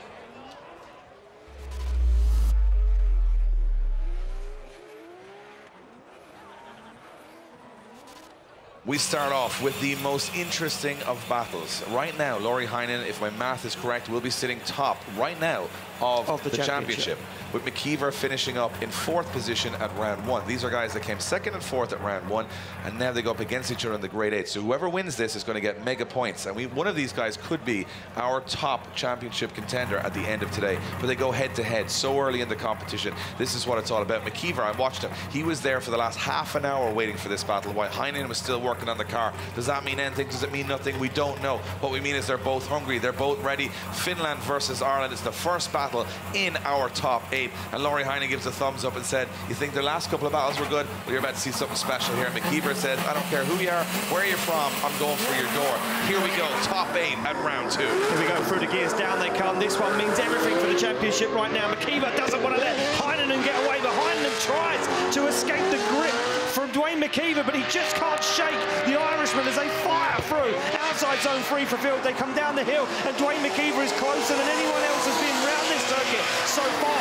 Lauri Heinonen now starts to put some ground between himself and the Irishman as Heinonen absolutely fires through, but McKeever is still there. He's out of the outside zone. They're wandering and waving, but the job is done for the first half. Wow, incredible battle between Lauri Heinonen and Duane McKeever as McKeever goes closer than any other driver in this competition for the weekend. He risked it and it worked out. Now, obviously, he's got a very fast and competitive driver ahead of him to, to aim for. It just worked so beautifully. This transition at the end, uh, one of the transitions at the end for me from McKeever was sensational. But McKeever, so close the whole way through the circuit, doing the right thing, staying a little bit ahead of the lead car so we can see he doesn't get clouded by that, that smoke cloud. And he stays with him though. Loses a little bit of ground through the midsection, but then he risks it all at the last. The last transition for me between these two guys was sensational from McKeever. Watch, gets up close to Persing. I think he's going to make contact. Little left foot brake, boom, comes through the smoke, up onto the door. Heinen's on that perfect outside line. McKeever starts to turn the screw, and he's up on the quarter panel as they go across the line. This is top rate stuff, Ian. It certainly is top rate stuff, Dave, and these two guys are here for busy. Look at that. Hand movements in the car. He let go of the steering wheel completely. He Wasn't even holding on to it when he pulled the, the hydraulic handbrake. He had so much confidence in that car setup. He knew it wasn't going to upset the balance. And look at this. Slow-mo shots from down on the circuit of Duane McKeever, door to door with Lauri Heinonen. Nowhere else in the world do you get this quality, Dave. And to get it at this speed, I mean, we're talking over 120 miles an hour sideways, which means your wheels are at 130, 40, 50 miles an hour. And you've set the car up like a drag car to go sideways that it doesn't want to do. These guys are driving past the grip. It's almost inhuman where drifting has gone. And now we're going to have to see someone go inhuman again because Lauri Heinen's got to do something incredibly special here. He's now had the radio on and the spotter has told him, you got to go for it, Lauri. This is all on the line now. Has got to go for it. He can't let McKeever get away. He needs to bring that chase A game right here, right now. He's gone wide though. He's lost himself. He's lost in the smoke. Is Lauri Heinen, and he starts to fall away. And Duane McKeever, the Irishman, drives through the circuit, looks for the transition, and Heinen is nowhere to be found. As Lauri Heinen is absolutely lost in a cloud of smoke from Duane McKeever as he heads to the wall and across the line. Is it done right there? Looks to me like that was the moment for Lauri Heinen. He went in, he gave it everything, but he got lost in the smoke. He had some understeer. I'm not sure what happened. We'll get a great view of it here on the replay. He's in the right zone, but does he push the front end of the car? He comes off throttle. All of a sudden, he's in the smoke. Look, he can't see where he is on the track. He loses ground, and then he realizes, oh, I'm in the wrong place altogether. And by the time he's realized that he's lost Duane McKeever. Yeah, he's absolutely lost him, and there is no way to gain it back. McKeever is so fast around this circuit that Lauri Heinen, look, drop wheels, ended up on the curb, upsets the balance of the car, and he almost straightens there. He has to keep hold of it. Watch this, as he comes through the smoke of McKeever, you see him pop through the smoke onto the grass, boom. Way out of position, way off that qualifying line, and I think that is the nail in the coffin there for Lauri Heinen. Yeah, I think it's a little bit more of a of disparity between the both runs than the judges or, or we would have expected, but it goes to show that first corner deciding so much, and Lauri Heinen lost a lot of ground. McKeever making no errors on both of his runs, and now very much looking like the man to beat if he gets the result here, because he hasn't put a foot wrong, and you can see just Lauri Heinen, he was hand out trying to reach forward, but he can't get there. And uh, I think Lauri Heinen's probably going to know the result before we do here, along with Duane McKeever. The results will drop in. It's for a place in the final four, and it's Duane McKeever getting the win. Duane McKeever gets the win and goes through to the final four. I think he and Lauri would have known that at the end of that run that it was enough done from both sides. So uh, there you have it. Lauri Heinen doesn't put a foot wrong all weekend, and all of a sudden, it's just one. One, One small wrong, error. One for wrong Yeah. on the initiation. We move it back to the start line. It will be Kevin uh, to take on Jakub Przygoński. Przygoński sits in that lead position. The Estonian driver now finds himself in a place where he hasn't found himself before here in the Drift Masters European Championship, and that's fighting for a place in the final four. He will be hungry for this one, but Jakub Przygoński, a long time off the podium for him in European drifting, he will want this more than ever, Dave. I think both of these guys are going to want this because uh, Kuba Przygoński hasn't been on a podium in a while at Drift Masters, and for a man of his talents and, and his many accolades, he wants a few more drift trophies, and that's why he's here, looking so professional, looking so focused right now. But Kevin Pesur, we haven't been in this position before. Przygoński has. Let's see if experience weighs out. Well, it should do, but will it though? The young gun fires through the smoke and he makes contact with Przygoński and turns him around and parks his car on the grass. Yeah, that's uh, that looked to me like it was just a little too much aggression from Kevin Pesur. Maybe he just wanted to say hello to that uh, cameraman that was out there. Looked pretty lonely out there. He said, I might go out and say hello to him. It looked to me like that was too much aggression on entry. We're going to get a great view of it here. If Przygoński enters, let's see if he slows or he just keeps going. Into the first corner they go. Przygoński initiates. He's on throttle. And looks to Kevin just pushes that little bit too far. It's knife edge at that speed though. It One, is. a, One lot, a lot of- a lot of the drivers saying to me that um, if you're at that speed,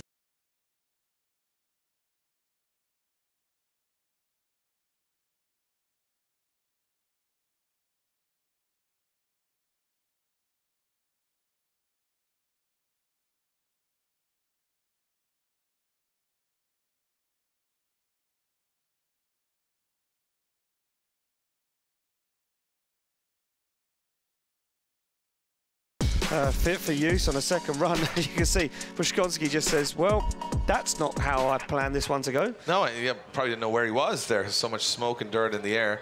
Um, and Kevin uh, Kevin Pesur just pushing that little bit hard. You can forgive him for it because he knows how good Jakub Przygoński is. He knows that he wants to get close, and he got a little too close, in my opinion.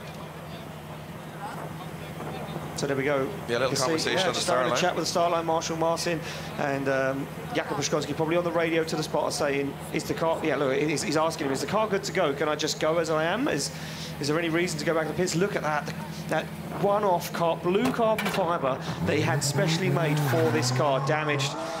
It's a shame to see, Dave, but that's why they built these cars. Yeah, exactly. Well, I'm, I'm going to clarify that for people, just so to break down what you said. So when we say blue carbon fibre, we don't mean carbon fibre wrapped in blue or painted blue. We mean blue, Blue carbon, carbon fibre, fibre. yeah. Yeah. Um, and it took us a while to figure that one out. We didn't even know it was a thing. Now No. it's a thing. Oh, here we go. We've got a puncture on Kevin Pesur's car from the impact, which means that he will or won't be able to. Can he reinflate it? He's got two minutes. I don't know if he's going to be able to do this. Uh, Right, so we're going to get the clarification first. We're going to ask Kevin Pesur, is that how low he was running those tyre pressures? Because we've seen these guys before, a certain circuits, running them almost with no valves in the tyres, just running them super, super low. Our safety marshal will be down there to have a look to see if that um, is the case, that he is running them this low. Is he rolling? I mean, running tire pressures that low seems a little bit sketchy to me. It is still beaded on the tire, so this is an interesting one because we do know, as you said, a lot of you guys might think, why are they running the tire pressure so low? Well, the reason being is that it makes the tire wider because it's Yep. flatter. So you think about it, when you have a real low tire pressure, it's very soft. The tire has more uh, room on the ground to More to- contact more patch, contact Dave. patch. That's that the word. was that the word? That exactly was what I the one. looking for. Yep. And now he's doing the international signals for I'm not sure what. I Oh, did. I think he's trying to now blame maybe Kuba for the contact. Yeah, there's a little bit of deliberation going on between our safety marshals and our technical advisors and Kevin Pesur and Kuba Przygoński. And uh, the judges probably getting a little information back as well of what happened on that first corner. Now, they'll obviously make an independent decision on this. But let's have another look at it as they come into that first corner. Kevin Pesur reckons he was in the right. He initiated. To be fair from Kevin Pesur's perspective, he's on the handbrake consistently all the way into that. So he hasn't gone on the throttle. He's only So we're going to be now looking, He's only decelling. Look, he's only decelling the whole way, and he has to come on the throttle till and here. there isn't any tyre smoke from the back of Przygoński's car from that wheel in that shot. Okay, so we're, So we're we analysing it. However, the judges, we're hearing it in our headsets, they have allocated fault to Kuba Przygoński. They've said that he, sorry, to Kevin Pesur, they've said that he's come in too fast. He's come in too fast and he's slowing down dramatically because he's over-initiated at too much speed. So the judges have said that Kevin Pesur is on less angle. That's why he's picking up so much pace. Okay. And he's darting towards Kuba, and therefore he hits Kuba. Therefore, his tire issue is caused by his own mistake. Not my words, Ian. Not your words, Words Dave. of the judges. We're just getting this information We're in our headsets. getting, yeah, we're, get, we're, get, we're just relaying what we're hearing. Um, but to me, from my perspective, it did look on initial glance that it was an issue of Kevin Pesur hitting Kuba Przygoński. We did see Kuba Przygoński's tires light up. It is a very fast part of the track, so they don't just instantly smoke because No. they're obviously just fighting the grip. It looked like he initiated the same speed as he always has and done the same thing he's done in every other run. So Kevin Pesur may be thinking Kuba Przygoński was going to be very fast, came in a little too hot, made contact. And if he's made contact, now at the point of reason is going to be he cannot continue if the safety marshal deems his tire pressure is too low to continue. Then they're deciding is it a tire pressure issue or a puncture issue. Now I'm also looking at it going, that would be the opposite side of the car. So has he picked that up when he's driving through all the gravel and the grass when he's going off the track? That's another thing to think about. A lot going on here, Ian. A lot going on, and I'm hearing it in my ears now that Kevin Pesur is not allowed to run. Unfortunately, our safety marshals deemed it unsafe for him to be able to run the car. Uh, he will be out of competition, Dave. That means that moving forward in competition will be Jakub Przygoński. We do need to make it official. He does have to uh, leave the start chicane and initiate in that first corner, as we've seen Yeah, before. and it looks to me like he picks up that puncture as he goes off the circuit, but the reason he's off the circuit is his own mistake. Well, I'm going to go to Kevin O'Connell quickly. Kevin, if you're there, what happened there? So it looked to me uh, straightforward at the start, but you guys had a little deliberation, but in the end, it was straightforward. Yeah, look, we always make sure that we ch- check all of our camera angles here to make sure there was no foul play or anything like that. But in our opinion, Kuba did exactly as he should have. He initiated absolutely fine and got back on power. Maybe he wasn't on full power right from the initiation point, but there was still smoke coming off of his wheels and there was no deceleration in our eyes. In our opinion, Kevin just came in far too hot, made big contact almost immediately after our initiation, and therefore he was at fault. There you go. And then it, he drives off the track, goes through all the rubble and the stones. He picks up some level of puncture, and I mean, remember that tire's already on low pressure, so it's not it's not made for off-road off-roading. And now Kuba Przygoński initiates into that first corner. He's going through to our final four. Drama in the top eight, but we love a bit of drama. We love it. We love it. We love it. It's good for the spectators, not for the drivers. That's what I always say about drama. But it's interesting to watch. It looks like Kuba. He has initiated. He's going to do a full run of the track and a free practice run here because awaiting him in the final four will be Duane McKeever. Yeah, Duane McKeever heads up against uh, Jakub Przygoński in that final four for a spot in the final. And, uh, well, drama after drama after drama. And we're not even done with our great eight yet, because up next we have got uh, Naoki Nakamura to take on Benediktas Čirba. This is what I've been looking forward to because I have no idea what to expect from either of these guys. Because No. Čirba, as I said, you spin the wheel on the line. It's either the most amazing 100-point run or it's a sketchy one. Nakamura, I'm going to put him in the same category. Got better at the lead runs as the as the day went on, but his chase runs, he can sometimes be a little overly aggressive. Yep. We're going to weigh those two up now, and we have no idea which way that one's going to go. And I think, you know, what we talked about Kuba Przygoński, um, super consistent as a driver. He's a racing driver. He's a rally driver. He's a Dakar winner on four and two wheels. So what he's done there is just keep the same line going all the way through, and sometimes that's just enough. And Kuba gets the job done on the first corner and goes through to the final four. There's your official decision. And that to me is impressive because he's not really, the, the, the occasion never really gets to Kuba because he's been in so many of these occasions before. Doing the nice smooth thing has got him this far. Will it get him past McKeever? I don't think so. He's going to have to go to an uncomfortable level there. We move it back to the line. Nakamura, Čirba, who knows? I mean, really, who knows? I mean, you've got I Benedict. thought you was going to make a big bold statement there. Oh, then, thought I was going to come with oh, some. I thought you was going to come with something then. I am cleverer than to make a prediction at this one. You've got the Japanese champion versus the Lithuanian champion in Sweden. That's what it's all about at Drift Masters. You got Naoki Nakamura in the chase position where he wants to be starting. I think this is where he'll prefer to Yeah. be at the start. And you got Benedict Sherman going, I could feel some bumps on this one because Nakamura goes close. Here we He are. certainly does. Here we go through the chicane, through the start line, down through the gears they go. Nakamura on the back bumper. Benediktas Čirba already tucks himself into the smoke. Čirba flying as always. And look at this from Nakamura as he in the smoke on the transition, bumper to bumper, no messing around. Čirba on an absolute flyer of a wide line, shaking from Nakamura at the moment as he shallows up the angle, gets on the handbrake, settles that car now, looks for the transition, back, bam, onto the door he goes, door to door, loses a little bit of ground as Čirba opens the throttle. As advertised. Naoki Nakamura going very close, and I think that's an amazing lead run from Čirba as well. Nakamura threw everything at it. You could actually hear Nakamura running out of gear a little bit in that track. You could hear the rev limiter quite a bit. I think that car is just on the edge of spinning wheels at some parts of that track, and he's doing a good job of dealing with it. But it gives him a little bit of an advantage in the slower areas, and it gives him a disadvantage in the faster areas. Nakamura doing a good job of staying with Čirba, but Čirba missing that inner zone, uh, does get the outer zone. There's some errors on both sides, I think, from both of these guys, but it's an exciting battle to watch because you've got Nakamura throwing the car at Čirba and Čirba on that rocket ship lead run. All you want from a top eight battle. The lead run from Čirba is absolutely astonishing because he's just coming alive. Uh, we spoke about it earlier, getting into that groove. I, I'm going to say it right now, he's in the groove. He's in the groove. He knows where it needs to be. Puts that car exactly on that qualifying line, and he's comfortable now. Yeah, and that's it- dangerous. It was strange to me at the end with Nakamura, just kind of like backed off a little bit through that last corner. You know, he was kind of really where he wanted to be here, and then all of a sudden, kind of just doesn't have the legs or something to kind of keep it all the way. Or maybe Čirba comes off throttle a little bit. So, a couple of errors creeping in on both sides, but I think this one's definitely going to come down to the second run.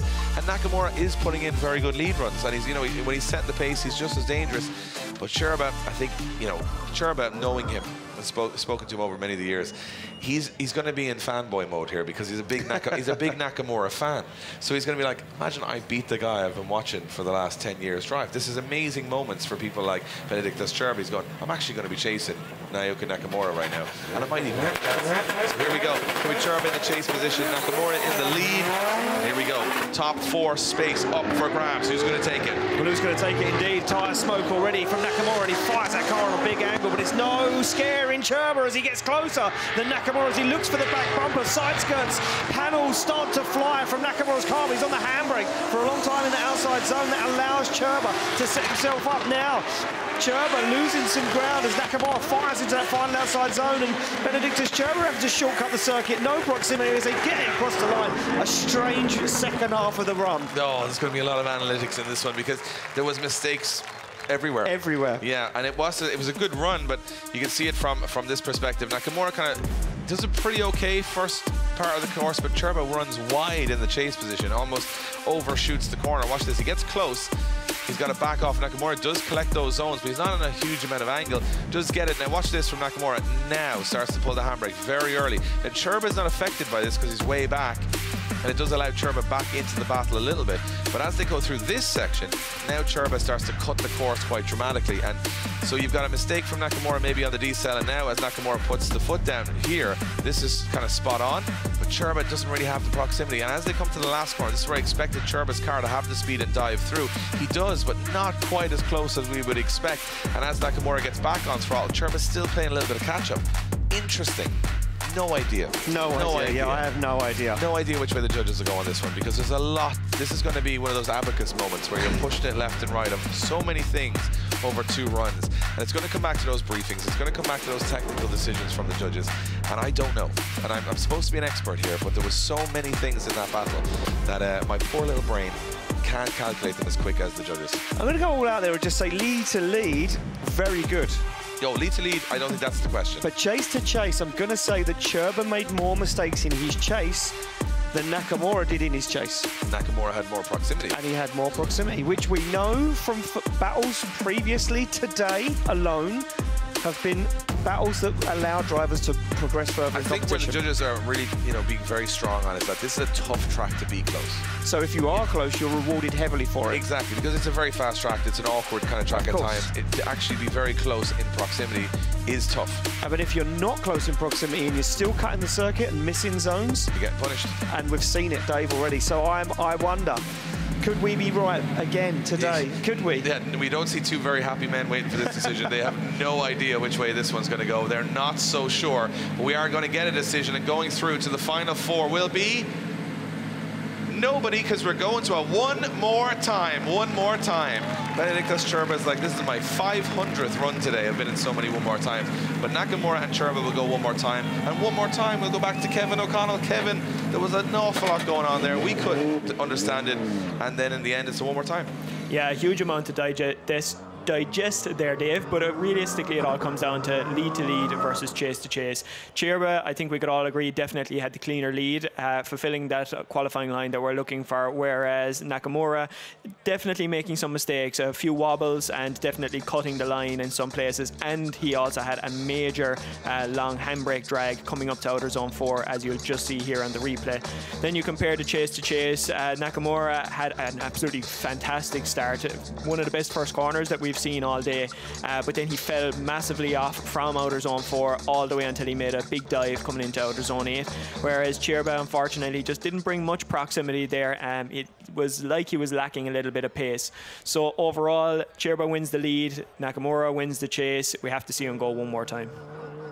That makes sense to me, and because if we can't figure it out, it's probably pretty close, and it was close enough that we want to see them go. Well, we couldn't work it out, so it, it, was right that it went one more time. But though we How can't, we can't work much out, so it doesn't no, say much. And remember, no. going back to the start line, it is going to be another great eight battle between Jack Shanahan, Juha Rintanen, experience versus the young gun in Shanahan, who's been taking a lot of trophies over the last couple of years. This is a big battle. It's a huge bell. It's a huge bell because I'm going to say now that Jack Shanahan probably watched Juha Rintanen drive like I did and probably like you did and many others that are watching right now in the grandstands and around the world. Watched Juha Rintanen do his thing for many years. Watched him become a great driver. And now Jack Shanahan sits along the line, aside him in the line and says, you're going home early. Well, here we go. Shanahan in the chase, Rintanen in the lead. Big early initiation from Shanahan. Risky from Shanahan, but he makes it work as Juha Rintanen now puts foot to floor. Loads of pace in that GR86, pulling away from Shanahan massively on, on the decel here. Now Shanahan's going to make a dive for this corner. Very good line. Are into missing that inner zone, going a little bit too wide and barely taking the next zone. Rintanen is on a flyer, but Shanahan cannot catch him through the last section of this course they go through. Shanahan with no proximity. And Shanahan's got a problem. Shanahan shuts down. Something went wrong for Shanahan there. Something gave way big time on that last corner. I'm not sure what that was. Oh, I'd love to see the replay of this one, Dave. Would love to see the replay because Shanahan's car, it looked like it almost over-rotated in that final outside zone. Did he spin? He might have not been a, been a mechanical error. It could have been a driver It error. was almost like an over-rotation. Let's take a look back at this, though, as they come through the centre circuit. Juha Rintanen's car, is it powered by rocket fuel? Because he is up and gone. Watch this, but watch Shanahan. He comes on the throttle in the outside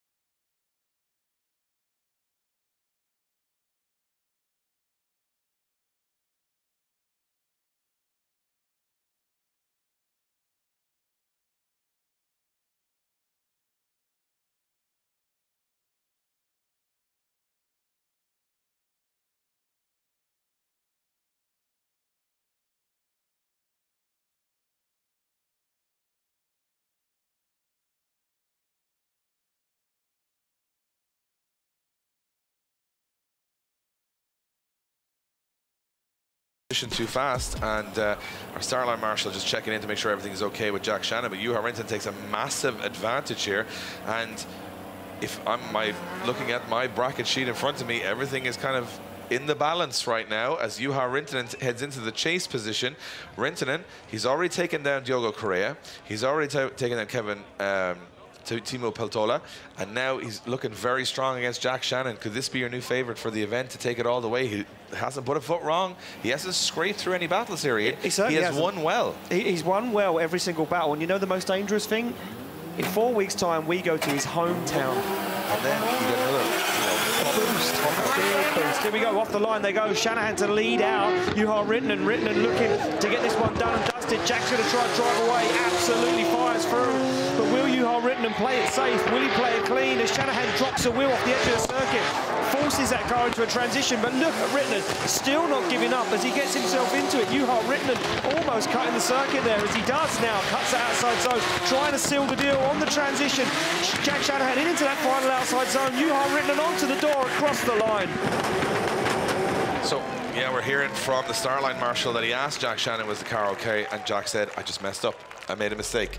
So with that spin on the first run, I mean, it doesn't take uh, a genius to work out that Juha Rintanen, what I will say is watch this move from Juha Rintanen. It looks like he's going to make a massive error. He's losing ground. He fires through Shanahan. Think at this point he's covered in smoke again. He's going to make a big error. He can't Yep. see. But he still gets it done. He's still st he's not making any unforced errors. Sure, didn't have a ton of proximity, but then you could forgive it because his spotter is probably saying, "Hey, you don't need to do anything here. Just get around the track." Jack Shanahan spun behind you. Why do you need to go close? Why risk Oh, it? Oh, he chucked it on the curb. We completely missed that in the smoke. Juha Rintanen went a wheel off the curb, over the curb, Oh, I see. Yes. on that inside zone.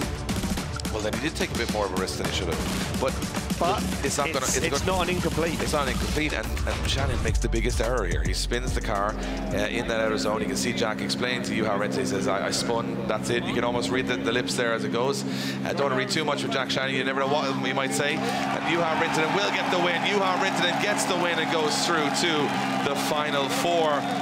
The flying Finn into the top four. Impressive stuff. Um, I'm, you know what? From my perspective right now, I'm telling you, this guy has put no. He says he's having fun out there. He's relaxed.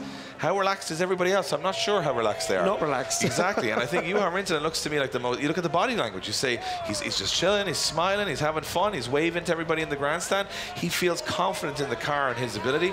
That's a dangerous man out there. Well, I'm just taking a look at who is in the final four so far, Dave, and yeah, Well, that's, that's as far as I You've want to got, go you've with got that. McKeever against Przygoński. Big battle. And we also have Juha in there. But the man that won't be in there is Jack Shanahan. Becky's with him. An unforced error. Very strange from Jack Shanahan. Just not his day today, Becky. Absolutely not his day today. But Jack, I know this is not the result that you wanted. We watched the onboard there. You could see you were full on power and you just reached the lock stops there. An unnatural error from you. What was going on inside the car? Uh, I don't know. To be honest, with the way I'm driving this season, I think it is a natural error at the moment because the skill set has been left in the winter for some reason, and I just can't get my head in the game. And yeah, it's disheartening because the amount of work we put in the winter and everything to try to get the car going, and it's like I rebuilt the car but left everything at home in the garage because if I keep driving like this, I'll be done by the end of the season. I think because it's it's, it's impossible to do this and have these kind of results. And yeah, you have just a better man in the day. I'm just pissed off, but yeah, here's what it is. So time to pack up and head home. Jack, you're an incredible driver. Thank you so much, and we'll see you in Finland. Yeah, Jack Shiny, I mean, he's a competitive guy. Not happy with the result there, Ian. And, and he, again, a guy used to the podium last year, and he's not getting an easy run of it. And we watch this happen in sport, not just drifting a lot of the time, where someone looks like the favourite, they come back. It takes them a while to get back into the, the groove of things. He hasn't changed the car or the chassis. He's, he said himself, just not getting into the groove this year. Two runs, he's still not miles away from the top of the championship. It's still a top eight finish. So, you know, I'm sure some guys that didn't qualify will be going, I think this is pretty okay, Jack. You know, it's not too bad. But uh, for Benediktas Čirba and Nakamura, there is glory ahead. A top four place for either Čirba or Nakamura would be incredible. We have a Čirba, but we don't have a Nakamura right now. So I'm wondering what's going on on that start line. Uh, is he warming up? Do we have that bright pink and blue S15 ready to go, or is there a problem? No, apparently he is leaving his pit garage any moment now. He does have, does have two minutes, Dave, once Čirba pulls to the line to make his way down towards the start line. I can see him. I just looked at cheeky look out the window of the commentary booth, and I can see him make his way down the pit lane now. And look at this. You can see Duane McKeever all ready for action. Yeah, Duane is interesting. He, he doesn't like sitting in the pit area. Oh, it was uh, Jakub Przygoński actually making his way down. I thought that was uh, yeah, uh, we haven't seen Naoki Nakamura. We haven't seen Nakamura just yet, where he is or what's going on. But um, what I'm just saying is, Duane McKeever, strangely, he he sits on that pit area. He doesn't like going back to, to, to, to sorry, sits on the grid area. Doesn't like going back to the pits. He thinks maybe a little bit too much going on. Too many too, people. Too many people. Too many opinions. A lot of talking. Stay in the zone. Stay in the car. Don't worry about it. And you know that if you're out in that grid, you're only with the people in the competition. It's all very calm. There's not a lot of hustle and bustle, and it is a big mind game here because you got to stay um, as much as you can in the zone. And do we have a Nakamura? Right, Nakamura hasn't. Um, it isn't under the clock at the moment because Benediktas Čirba hasn't pulled to the line, so he hasn't been requested to the line yet, Dave. Yes. So that clock will only be started uh, once he's requested to the line. That's my mistake, getting a bit ahead of the game here. I want to get this uh, final four I'm underway. excited. I- I I'm excited get- for get- Nakamura and Čirba. I want to get this. I want to get in. I want to find out who's going to be the final driver in the final four, and then get that final four underway.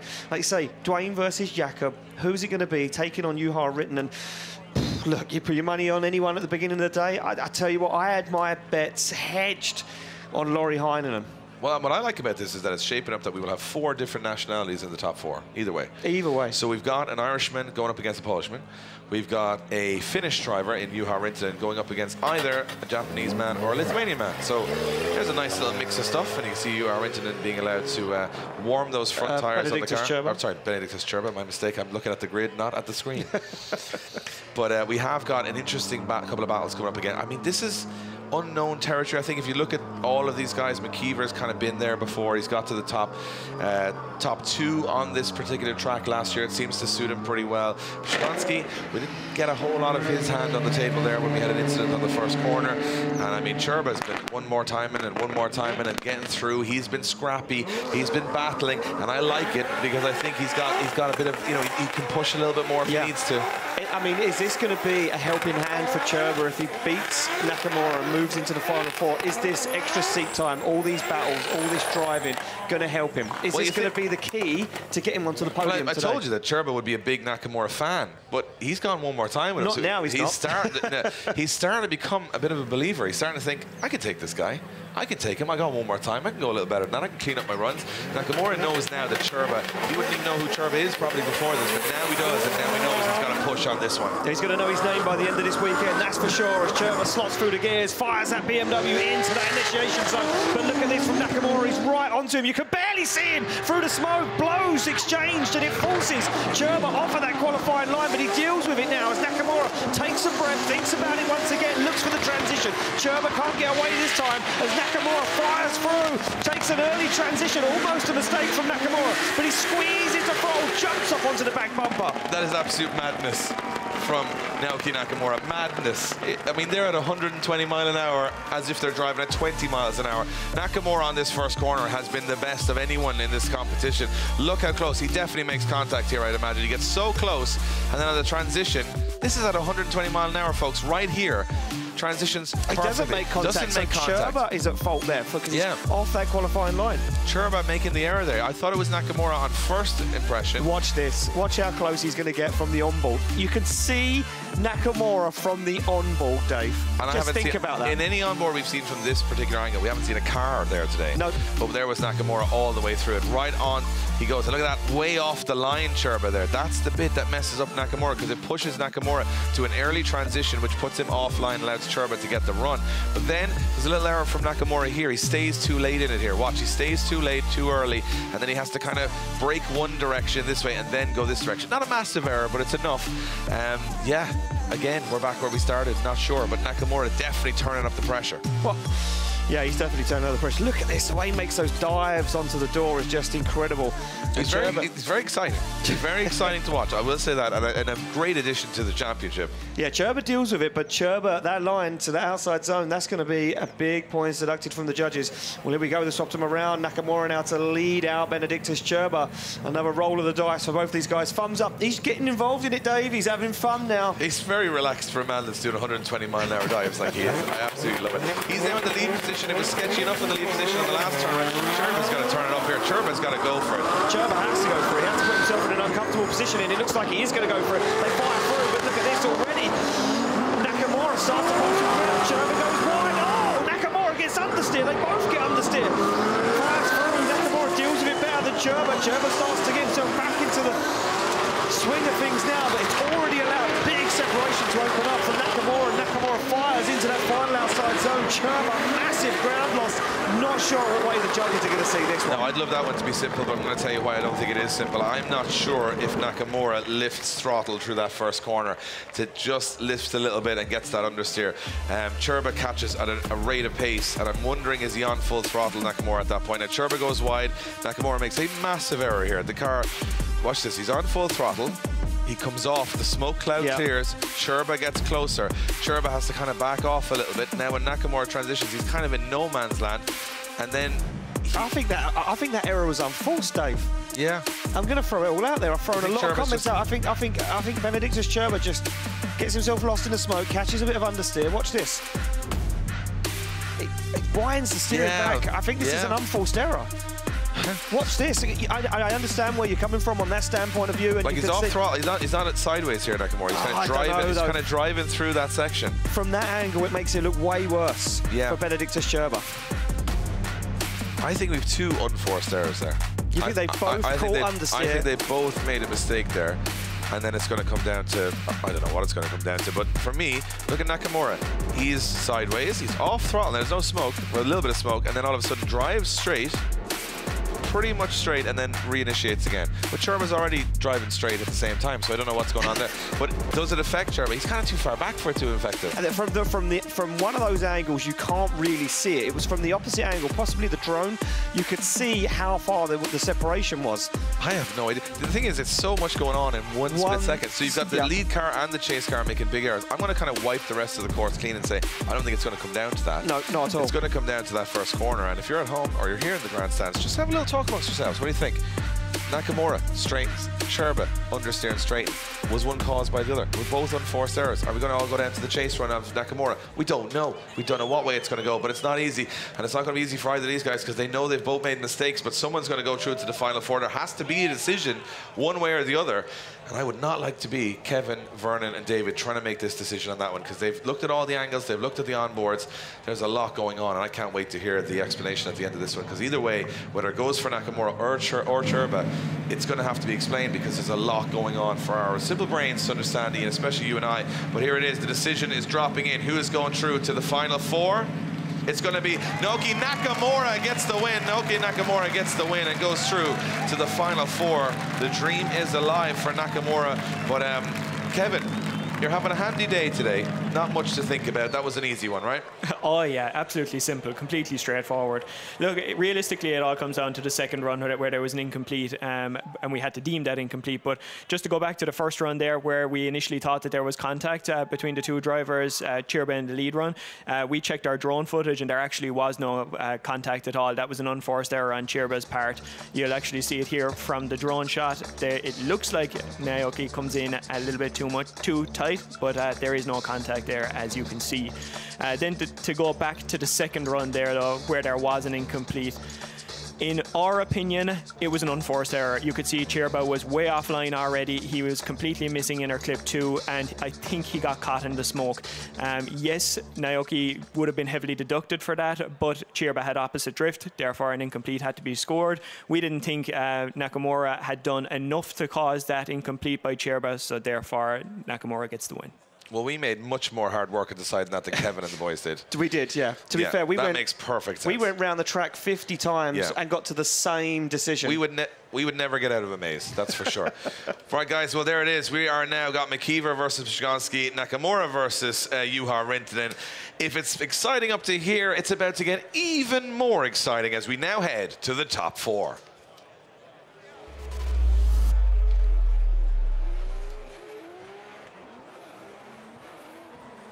We started with 51 drivers. We are now down to four. They represent Ireland, Poland, Japan, and Finland.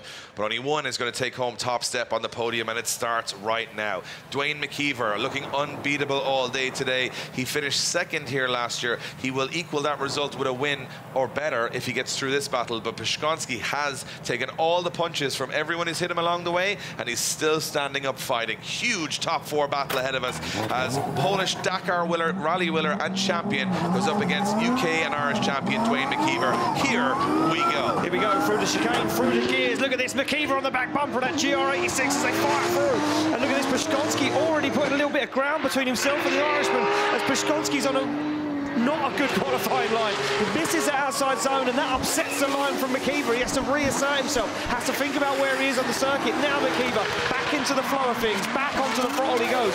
Looks for the side of that GR86 and he finds it, but his wheels over from McKeever across the line. Oh. If you thought it was exciting now, it's definitely getting more exciting because you have got wheels over, you've got contact, you've got off qualifying runs. Let me break it down for you, people. Przygoński, this is where it gets a little bit sketchy for him. On the first corner, he's getting that inside zone missed, and then he straightens up a little bit. It does get nowhere near that zone, and McKeever's pinned to the other side of the track. So the judges are going to look at that lead run and say, Kubat, that's not where you're supposed to be. So at that point, you're looking, oh, Duane McKeever's got a big advantage here. All he's got to do is keep his nose clean and get as close as he can. Przygoński now starts to tidy it up. Does a really good job of getting through the course. You can see him pushing to the edge of the circuit here.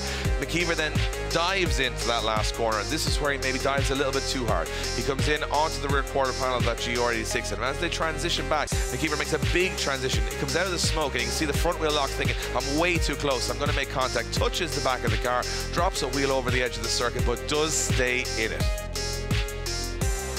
I mean, unbelievable. Unbelievable. No words. There's no, No words, words. because watch this. He's going to make contact here, and he has to I, I think you're slam being generous with saying one wheel, Dave. I'm going to go all out on a limb here and say that was two wheels at one portion of the circuit. I'm not so sure. I think one one wheel for me, but again, I still think you know if it was yesterday qualifying, the judges said two wheels off is a zero. Now they're saying it's a big deduction. It's a big deduction, yeah. I'm thinking if you look at the deduction that Przygoński's building I think from that bad qualifying run up to that maybe outer zone three or four. Yep. I think it's kind of balancing it out. Yeah. So maybe this one is just dead down the even at that point. We've got great proximity from McKeever, but we got uh, you know some errors in the lead from Przygoński. Does it balance out?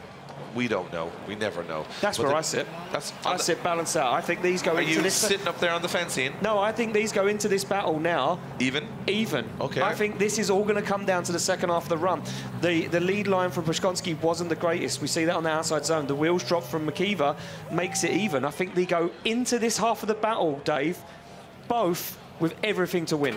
And I think the tail is going to be can Przygoński catch McKeever? Ah, you took the words out of my mouth. Sorry, I'll give them back later on. But right now, it means that I think fastest man around this circuit is Duane McKeever and you have Rintanen for me. And I think McKeever's going to put the pedal to the metal here and say, can I lead? That's what Przygoński's got to watch. I want to know if Przygoński can take a risk. Can he go outside the comfort zone? Can he put that car into a place where he hasn't put before? Well, we're going to find out now as we see McKeever absolutely fire that car in, and Przygoński does. He takes the risk. He starts to put the car in a place where he hasn't put it before. He wants to be uncomfortable. He wants to find the side of that S13 as they come round in front of the grandstand, and he loses the ground to one of the fastest men the circuit right now as McKeever absolutely drives away from the Polishman, but he regains the ground offline. Up onto the door he goes. Well, almost like we predicted it. But Almost, McKeever, yep. McKeever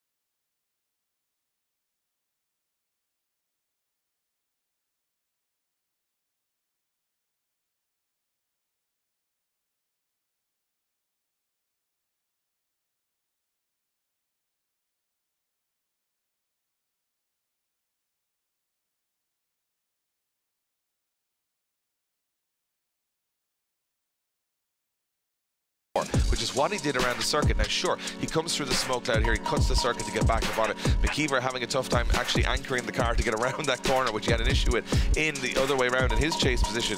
So it's going to come down to a couple of those factors. Yes, we're going to give McKeever the advantage for sheer pace on that second half of the run, but on the first half, does Kuba's mistakes in the lead balance out McKeever's mistakes in the chase, meaning, you know, add it all up, McKeever gets the advantage. But that's not the way it may be. It may be that way. Let's see what happens. Going to the final is, it's Duane McKeever goes to the final. He goes to the final. And uh, you know what, Kevin? We were just discussing that before the decision. It sort of said to us, Kuba has a bit of mistake in his lead. Duane has a mistake, but there's no denying the lack of proximity on the, on the other way around. Yeah, absolutely. It definitely does come down to mistakes, really. You look at Duane's lead, uh, comparing lead to lead for both of them, I guess. You look at Duane's, it was very, very clean. A couple of very small uh, errors here and there, but when you compare it to Kuba's, uh, Kuba was missing zones and he definitely wasn't on that qualifying line. He didn't give Duane every opportunity to chase, just like Duane gave to him. You look at the chase runs, then Duane had some fantastic proximity in places, really nailing it to the door, um, even though he didn't have the ideal line to chase. Just one note on it, we did look at it. Duane put one wheel off on outer zone 8, not two, uh, from our alternative views there. Um, he So that was a deduction, but overall, Duane, the cleaner driver over the two runs we're just watching that replay, Kevin. It was it was one tire holding on for dear life, I think, on that outside zone. Um, but it is going to be Duane McKeever moving through to the final for two years in a row. Uh, he lost out in the final last time. He'd love to rectify that result this time around, and we will see Kuba Przygoński into the third and fourth place playoff. And now we're going to see Nakamura versus Rintanen. What a world where we live in, where we're going to see two heavyweights of European and Japanese drifting go head-to-head -head for a spot in the final. This is what it's all about. It certainly is what it's all about. As we watch these two guys fall on the tyres at the back end of the circuit now, we start to get an idea of where this podium is going to lie. And, well, we are definitely going to have a different podium than we did around one, that's for that's sure. For sure. And I think this is the thing. So whether, you know, you lose or win this final four battle, you get two shots at the podium. Yep. So if you win, you go to the final. If you lose, you go to the playoff. You get another shot at the podium. So there's a little bit of weight that comes off the shoulders of the drivers at that point, knowing they've got, you know, if they make one mistake, it's not quite over for the weekend just yet. However, Nakamura from Japan going up against Finland's Juha Rintanen. These are moments that you will only see in Drift Masters and moments that you've probably discussed amongst your friends if you're a Drift fan for years and years. I fantasy wonder, battles. Fantasy battles. I wonder what's going to happen if this happened. Imagine if this happened and that happened. People have only seen things like this on the virtual world where people are replicating this stuff happening.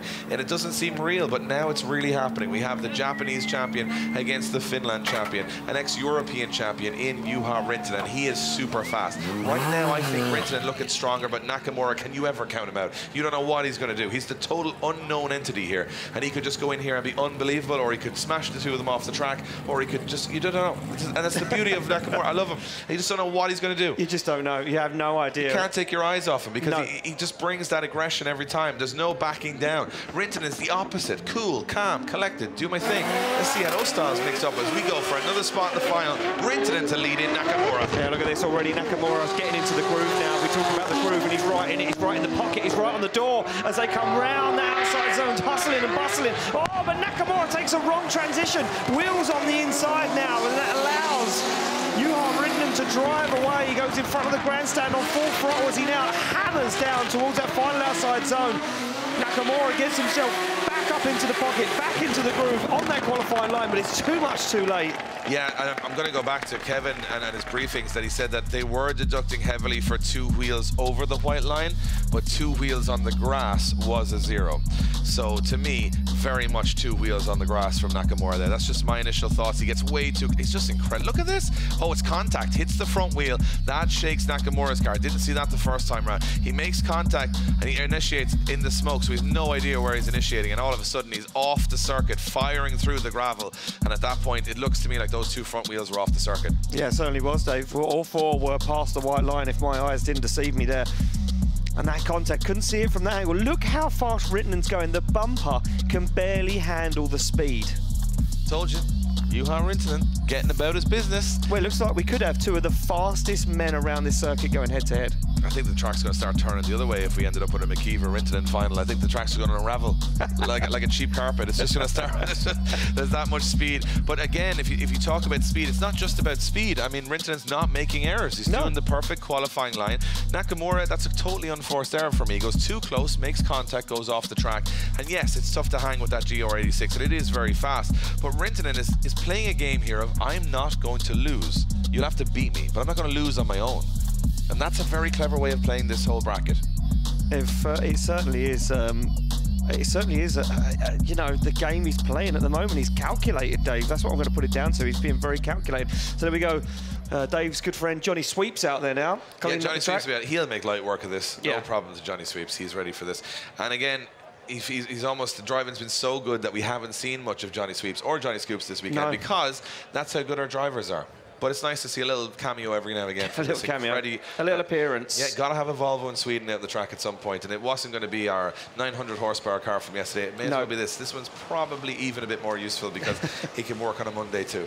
So we have got a little bit of a cleanup on the track, and uh, that is going to be all of that gravel that was brought in from uh, Naoki Nakamura. And Nakamura, I think he just got a little bit lost. I don't know if he knew where he was on the track, and when he transitioned through the smoke, I didn't. I don't think he expected the curb to be on the other side No. of that. And then all of a sudden he's like, nope, that's not where I want to be. And he went straight through. And to be fair, he went absolutely off the track four wheels where we've never seen anyone go off. And he still finished the run. He still got through it. Yeah, I mean, so he didn't give was- up on it. He still had some form of proximity by the end of the run as well. It's incredible. So uh, we're watching some interesting things happen, and we, as we mentioned before, we have got Dwayne McKeever into the final. There will be an Irishman in the final. We got a Polishman into the playoff in Kuba Przygoński, and now it looks to me like Juha Rintanen, the Finnish driver, who has a lot of Finnish fans and support here in the grandstands. He is looking very, very on form right now to go to that final. He just has to not make any errors. And if I'm not mistaken, Nakamura's in the lead position, so he can't really force too much from there. No, he can't really force an error really from the lead position, Dave, and he kind of made all those mistakes on his own, uh, just over aggressive. Uh, and, and you know what? He'll be kicking himself now. He will be sitting in the car now knowing what he did wrong. Well, you know what? Either way for Nakamura at this point, think about it. He loses this battle to Rintanen, and Rintanen goes to the final. But Nakamura will still get a shot at Kuba Przygoński um, in that playoff. And if, for example, Nakamura was to get third, to, from where he went to Mondello with an engine failure, barely making it to qualifying, all the way to third in one round, look at that progression across two rounds for Nakamura. And I don't think this track really suits his Uh, style at all. Just going to cover that. I was just going to mention what you were just about to mention. We had this discussion earlier on in the break between top six, top 32 and top 16.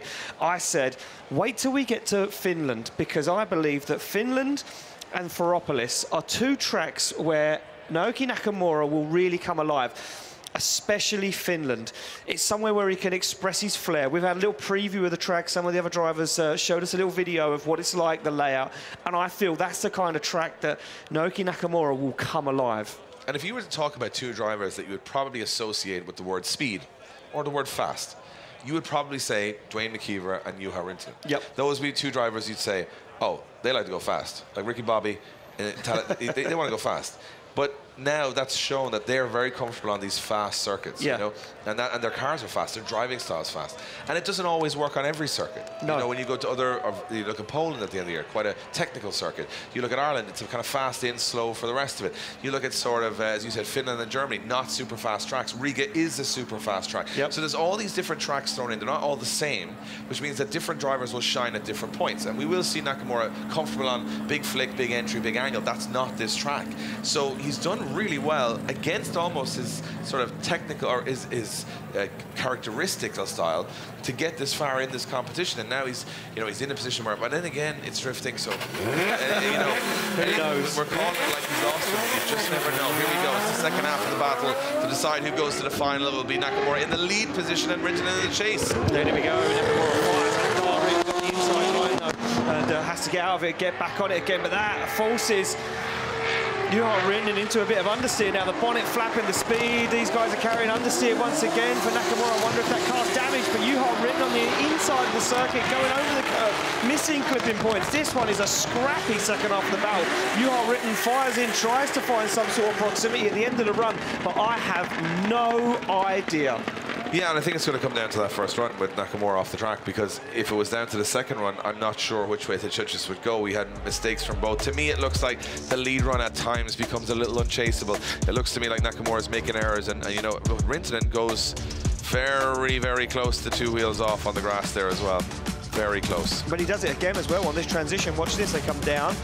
They get that outside zone, they transition, and you can see Juha Rintanen. Uh, Nakamura's on, not on a bad line, but he handbrakes a lot. But watch this, Juha Rintanen goes for the dive, doesn't work. Look at the angle. He goes way off line, two wheels, three wheels over the white line on the grass. Yeah, but Nakamura's on a weird decel there for a very, very long time. Does that force Rintanen on the inside of the track? That's the question I would have. And it, he completely avoids that inside zone, granted.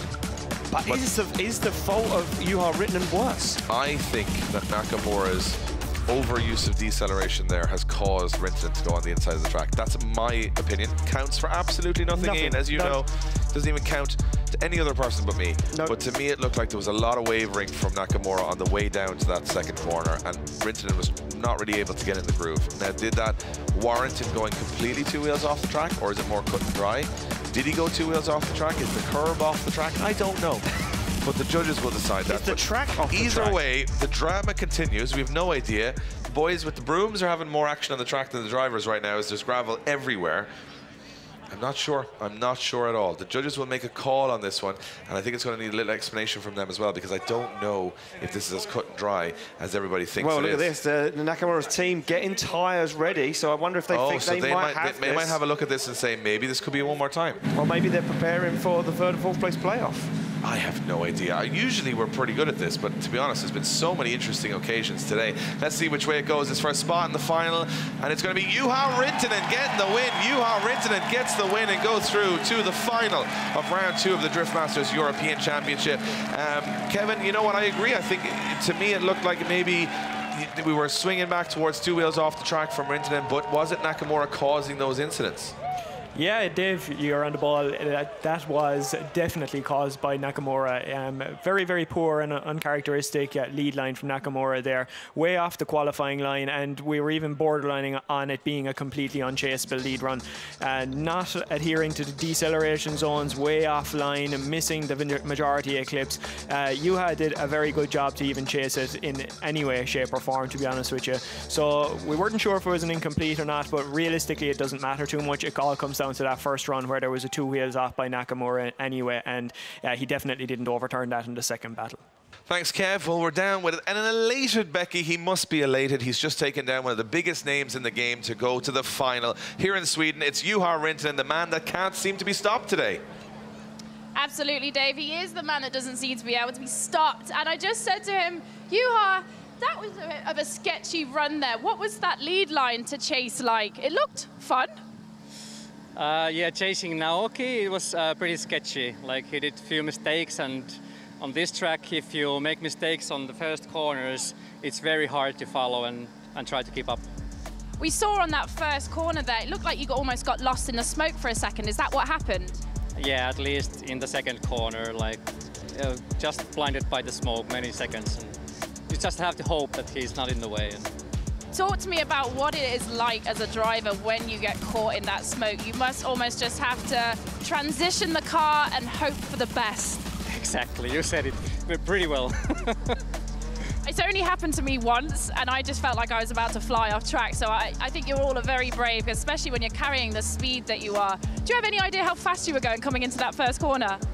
I'm not sure. Uh, at some point, we have maybe 150 kilometers, but uh, uh, I'm not sure the speed makes it sketchy in the smoke.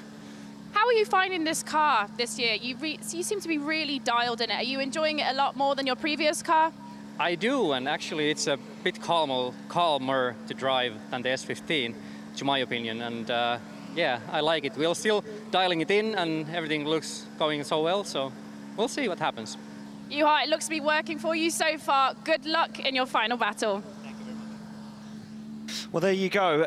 Dialing it in as he goes round by round. Juha Rintanen finds himself in the final with a car that he's still learning and still adjusting every single run of the circuit and every single event that we go to. And there we go. We can see scenes down in the pits there of uh, uh Naoki Nakamura's car getting some new, fresh tyres on the back of it, ready for the third and fourth place playoff against Jakub Przygoński. Uh, we'll get that one underway as soon as we know these cars are going to be back up on the back end of the grid. Jakub Przygoński already made his way down there, ready for action. And Naoki Nakamura, probably at the beginning of this weekend, and probably a few weeks ago when he was in Ireland, didn't think he'd be in this situation after suffering uh, terminal engine failure. But the team worked super hard, him back out, and now looking stronger than ever and showing the form that he has as a Japanese champion. Dave, Juha Rintanen, I just want to go back to that, dialing the car in. I'm just going to go back to the fact that before top 32, I made a prediction about Juha Rintanen. You did make a prediction. And I said he's the one no one's talking about. Because if you watch all these big names and these big guys out there, you're always watching them. I just today it seemed like there was some inspirational moments from him where he wasn't making errors when everyone else was. He didn't look uncomfortable. And when you see, you know, your Jack Shanahans, your your Więceks and your Čirbas making mistakes, making errors, and you start to see Rintanen not making any errors, you start to believe. And I saw that in practice. Every run of practice, everyone in qualifying, smooth. It seemed like he had the car dialed, the right gearing, everything was. And even when people were making mistakes in front of him, it was how he was dealing with them. For me, that was a big one. But before we get to that final between him and Duane McKeever, which I absolutely cannot wait because there's definitely no issue with pace on either car there. They're going to be very well matched, which is a phenomenal way to finish this uh, incredible event.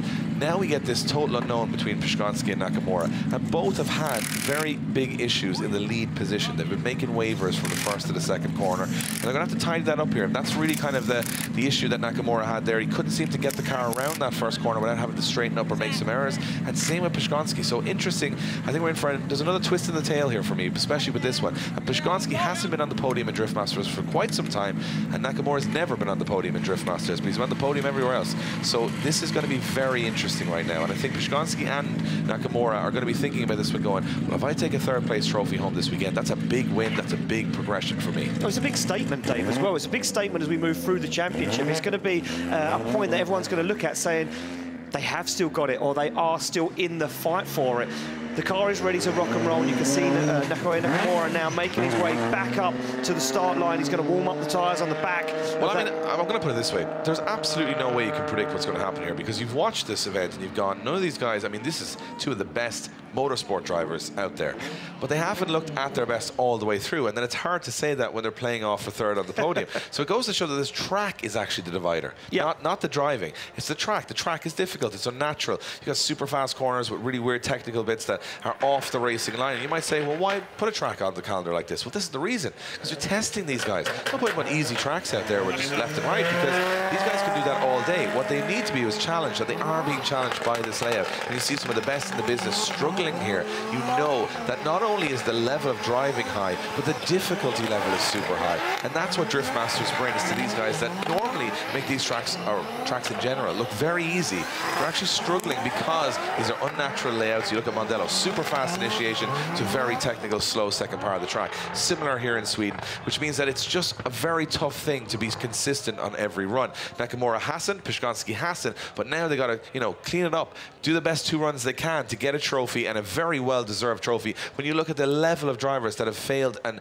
and dropped out of the competition, this is a big moment for both of these guys and a big moment for their championship campaign as well. Lots of points on the line here between third and fourth place, and Nakamura and Przygoński are going to know that. We've never seen a Dakar winner go up against one of the, stylish, most stylish guys in drifting ever. This is what's happening in Drift Masters right now, and it's happening right in front of us. Here we go. Yeah, this is it. The third and fourth place playoff underway, ready to rock and roll. And look at Nakamura Nakamura onto the door of that GR86. You can't even see him through the smoke. He's closer than he's been all day, and it's a nice line from Przygoński as he fires down. But look at Nakamura as he gets up into the groove, oh, over the curb. He goes, he just about holds onto it.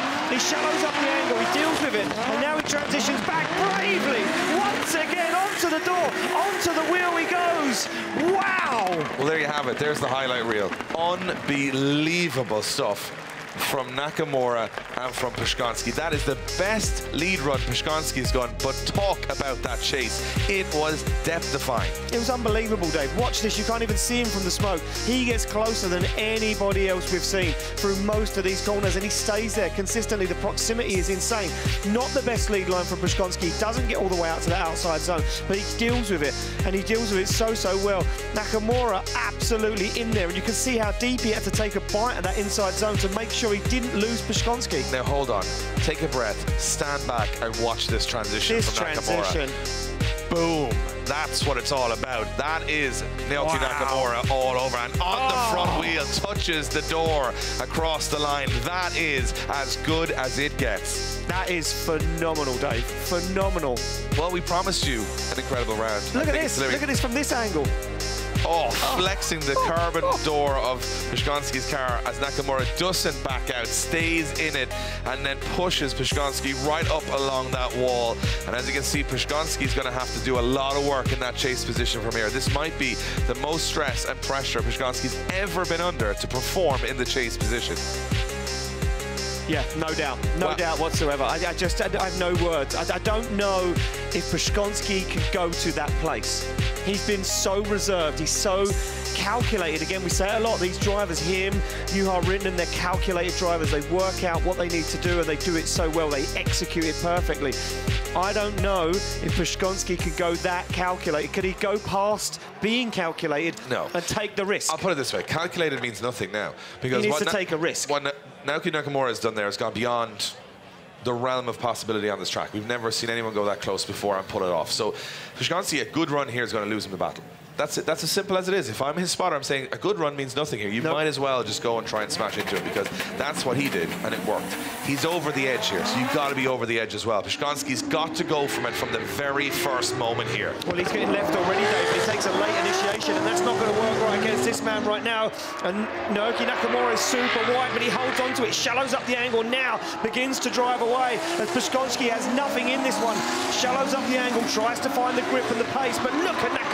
He is absolutely gone. He fires into that final outside zone, and Przygoński has no answer for the Japanese champion as he takes it home. Ladies and gentlemen, Naoki Nakamura is here in European drifting. He is back in business. And after a tough first round of two engine failures, well, he comes to Sweden on a track that wouldn't normally suit his style, and he still puts on a display like that. Przygoński had no answer throughout the course. And you know what? For some reason, the pace of Nakamura's car there was turned up another couple of notches, very fast. Przygoński's like, what do you want me to do? I'm cutting the track, I'm trying everything I can, I still can't catch him and Nakamura puts on and I mean it wasn't perfect in the lead run. There was some moments but it didn't matter because he wasn't affecting Przygoński because Przygoński was 45 miles behind so it didn't make any difference. So Nakamura clean lead doesn't affect the chase car.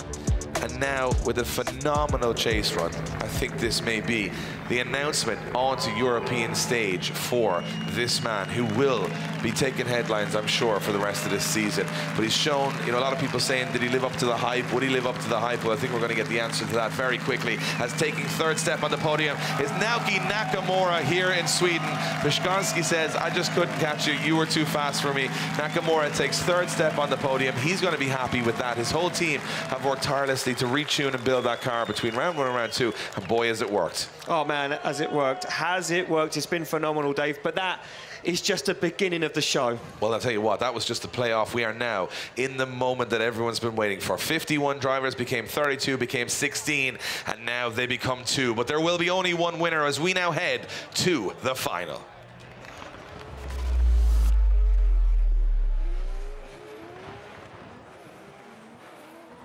The stage is set. The two fastest man in Sweden this weekend sit on the line. Finland's Juha Rintanen will go head to head with Ireland's Duane McKeever. McKeever took second place here last year, but he doesn't want second place again. He wants first. Rintanen, he's taken everyone down this weekend without even breaking a sweat. This time he's going to have to turn it up because McKeever is coming for it. They are focused, they are ready. This is two of the best in the business about to go door to door in the final in Sweden. And boy, are they ready. The cars are working, the grip is dialed in. They know exactly what they want to do here, and both of them have been unstoppable forces all the way through the competition. But one will win and one will lose, and we're about to find out. Here we go. Oh, look at this from Rintanen already flying through, but McKeever on the back bumper. Big initiation. McKeever goes through, but he can't match the pace. He's been outpaced by Juha Rintanen, who swings that car from left to right. And McKeever, the man that we said was fastest round this circuit, is in a cloud of tyre smoke, but Rintanen shortcuts the outside zone. And now McKeever starts to rein him back in. Can he find anything in that final outside zone? And he can't. As Juha Rintanen leaves the Irishman in a cloud of smoke. Who would have predicted it, Ian? I've never seen Duane McKeever left for pace at any event I've ever Wow. been to. That is how on it Juha Rintanen is this weekend. He's found something here that nobody else has found, and he found Watch it from this. Look at this. Gone. He drives away from Duane McKeever. He drives away on angle on the perfect qualifying line. He's not cutting the course. He's not trying to, you know, run away on purpose. There's no games being played there. That is just full throttle, full steam. And McKeever right now, he's panicking. He's thinking, how have I lost so much ground in the first two corners? I don't think Duane McKeever's ever felt slow behind the lead car, ever in drifting. And you got to remember that Rintanen has found some way of making this GR86 faster than anything else on the circuit this weekend. Incredible. Uh, unbelievable. Almost again, no words. I, know I would have bet any money that Duane McKeever was the fastest man around this circuit. But it appears not because Juha Rintanen went away last night and he worked on that car and they've worked on it all day and they've dialed it in and they've tuned it and he said that they've been dialing it in all weekend, every single run they've been making adjustments. What have they done to that car? Because if you gave it wings, it would be gone. It almost wheelied through the course there. It was going that fast. Incredible. Uh, But not only is it going fast, fast is It's fine. in control. But he's in control. He's on angle. Look at the precision to the edge of the track here. Absolutely perfection from Juha Rintanen. And he's the only driver I said out there with the body language of a winner because he's standing there cool, calm, says I'm having fun, waving to the fans, smile on his face. That's a man you do not want to come up against because he's feeling like I can win this easy. And it's not easy. That's the problem. No, it isn't easy. So now McKeever. McKeever goes into the lead position. Rintanen has, if he puts any level of proximity in here, he is going to win this event. But it's easier said than done. And Duane McKeever is going to say, right, what's my tactic? It's got to be really big angle, really fast from the off. Let's see if Rintanen can get the job done. McKeever has something left in the tank. It is the final run of the weekend. McKeever to lead in. Rintanen, here we go. Yeah, look at this already Rintanen not letting McKeever get away. McKeever fires that car big angle, as you say, Dave. He's going to play the game, but it doesn't matter. You are Rintanen. A little wobble, but he gets himself back into it again. As Rintanen now works his way down into that transition. Over the hill they go. Look in front of the grandstand. McKeever now starts to drive away from Juha Rintanen as Juha Rintanen makes a big dive into that final outside zone. He looks for the wheel and he gets there across the line. Incredible. And McKeever makes an error on the first corner. I just noticed he misses that inside zone. He pushes a little bit too wide. It may have messed up Rintanen's chase run a little bit there. But either way, little bit of proximity, not amazing proximity from Rintanen. Watch McKeever's line here. You think he pushes a little too wide. He's trying to get to that inner zone, remember, on the left-hand side of the track. But as he pushes through, it looks like the car washes for him. He misses that zone. Rintanen now kind of firing in in the chase position. And does McKeever have the correct uh, transition back? I'm not so sure. You can see Rintanen making errors, having to adjust in the car. Um, and it looked to me from that perspective that McKeever, not the perfect lead run, definitely not as good as Rintanen's. No, nowhere near as good as Rintanen's. And, and it pains me to say that at the, about these guys at this level, but that's our job. We have to critique and look at this. Rintanen in the smoke, goes for the dive. They transition back. The proximity's there. A few wobbles and wavers for Juha Rintanen, but I tell you what, Dave, the proximity, we've seen it all day. Oh, a wheel drop from Wheel McKeever. drop from McKeever as well. Yeah, he's yeah. off the track. We saw uh, straighten up, but that could have been an evasive maneuver Yeah, because to get away from McKeever, that. yeah, would have uh, dropped, you know, dropped the wheel and made it very difficult for Rintanen at that point. And Rintanen looks so calm, so controlled. Just yeah, I'm up on the door. It's all fine. It's all good. Some pace to be that casual about it. So an incredible stuff from Rintanen and Duane McKeever. McKeever, you can tell by the body language. I don't think he thinks he's got it. It might have to settle for second place two years in a row on this circuit. Rintanen, look at the body language. Just checking the car. Everything's fine. That tape wasn't there this morning. Oh, that must be new. Um, must have hit something. He has a look in and says, yeah, no, everything seems to be fine. I'm just checking my window wipers there, make sure they're still functional. He's so relaxed. And I think that's for me um, one of those things that's really stood out for me all weekend is how smooth, how relaxed he's been. And I mean, if you look at the championship points on the table, this is massive for either of these drivers, for McKeever or Rintanen. But one is going to take the win. Who is it going to be? Taking the win is it's Juha Rintanen. Rintanen takes the win. Round two of the Driftmasters European Championship in Sweden. The fans go absolutely crazy. Most of them finish in attendance, and Duane McKeever is going to have to settle for second place. My voice is gone, my heart is beating, and that is what this sport is all about. Unpredictable results. You think you can predict it, you think you know what's going on, you know nothing. Sit back, watch, and watch the show. The circus rolling into town every weekend when Driftmasters comes through, because it was all upside down this weekend. Everybody's going to feel like it was anyone's game, and the real reality is it was Juha Rintanen's to lose. He never made an error all the way through. A worthy winner, Ian. Certainly a worthy winner, Dave. What an, a phenomenal drive from Juha Rintanen. Becky's with Juha. Let's see how he's feeling, Becky. Incredible scenes here. Juha Rintanen is our winner of round two at Drift Masters, and it's his first ever win at Drift Masters. Juha, you must be absolutely delighted. I am. I am. There's, I heard some noises in the car when we went from the line, but I just didn't care. Ah, it was crazy. When you were coming through the smoke there, you, you seemed to have a little bit of a wobble. Were you still back on the power and didn't worry about it? Yeah, that, something's definitely off in the car. Uh, I think we have to take it apart after this round, but it's, we, at least we have a good reason for it, so it's good. Absolutely. You seem so calm. I'll give you that. Whenever anything is happening, whether it's good or bad, you have this total clarity and calmness. Inside, are you jumping up and down right now? Oh, yeah, maybe it's coming later, so we'll see. Hopefully. Forever the gentleman. Congratulations, Juha. You deserve it. This was your round. Well, there we go. Juha Rintanen wins round two of the 2023 Drift Masters European Championship, and he is absolutely belated. You can see the reaction he gets as Duane McKeever says again the second step on the podium. But this weekend, those points, he will take it.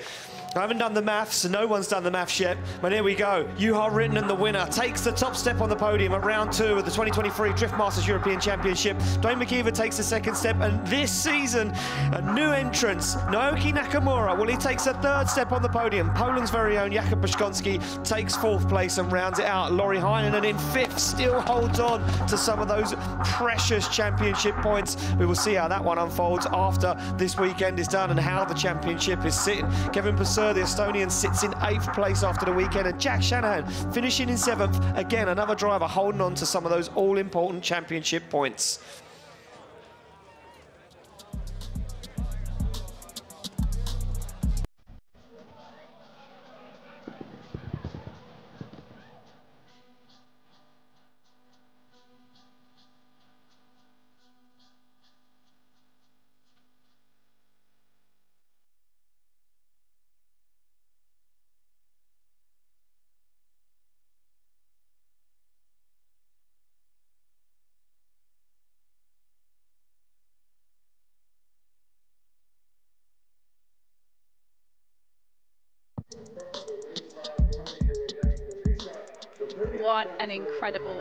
Guys. You know what I love about drifting is you never ever know what is going to happen. His first ever win, Juha Rintanen takes that top spot and he is going to go back and party. He always is so calm and collected, but I know inside he is actually jumping up and down. I promise you.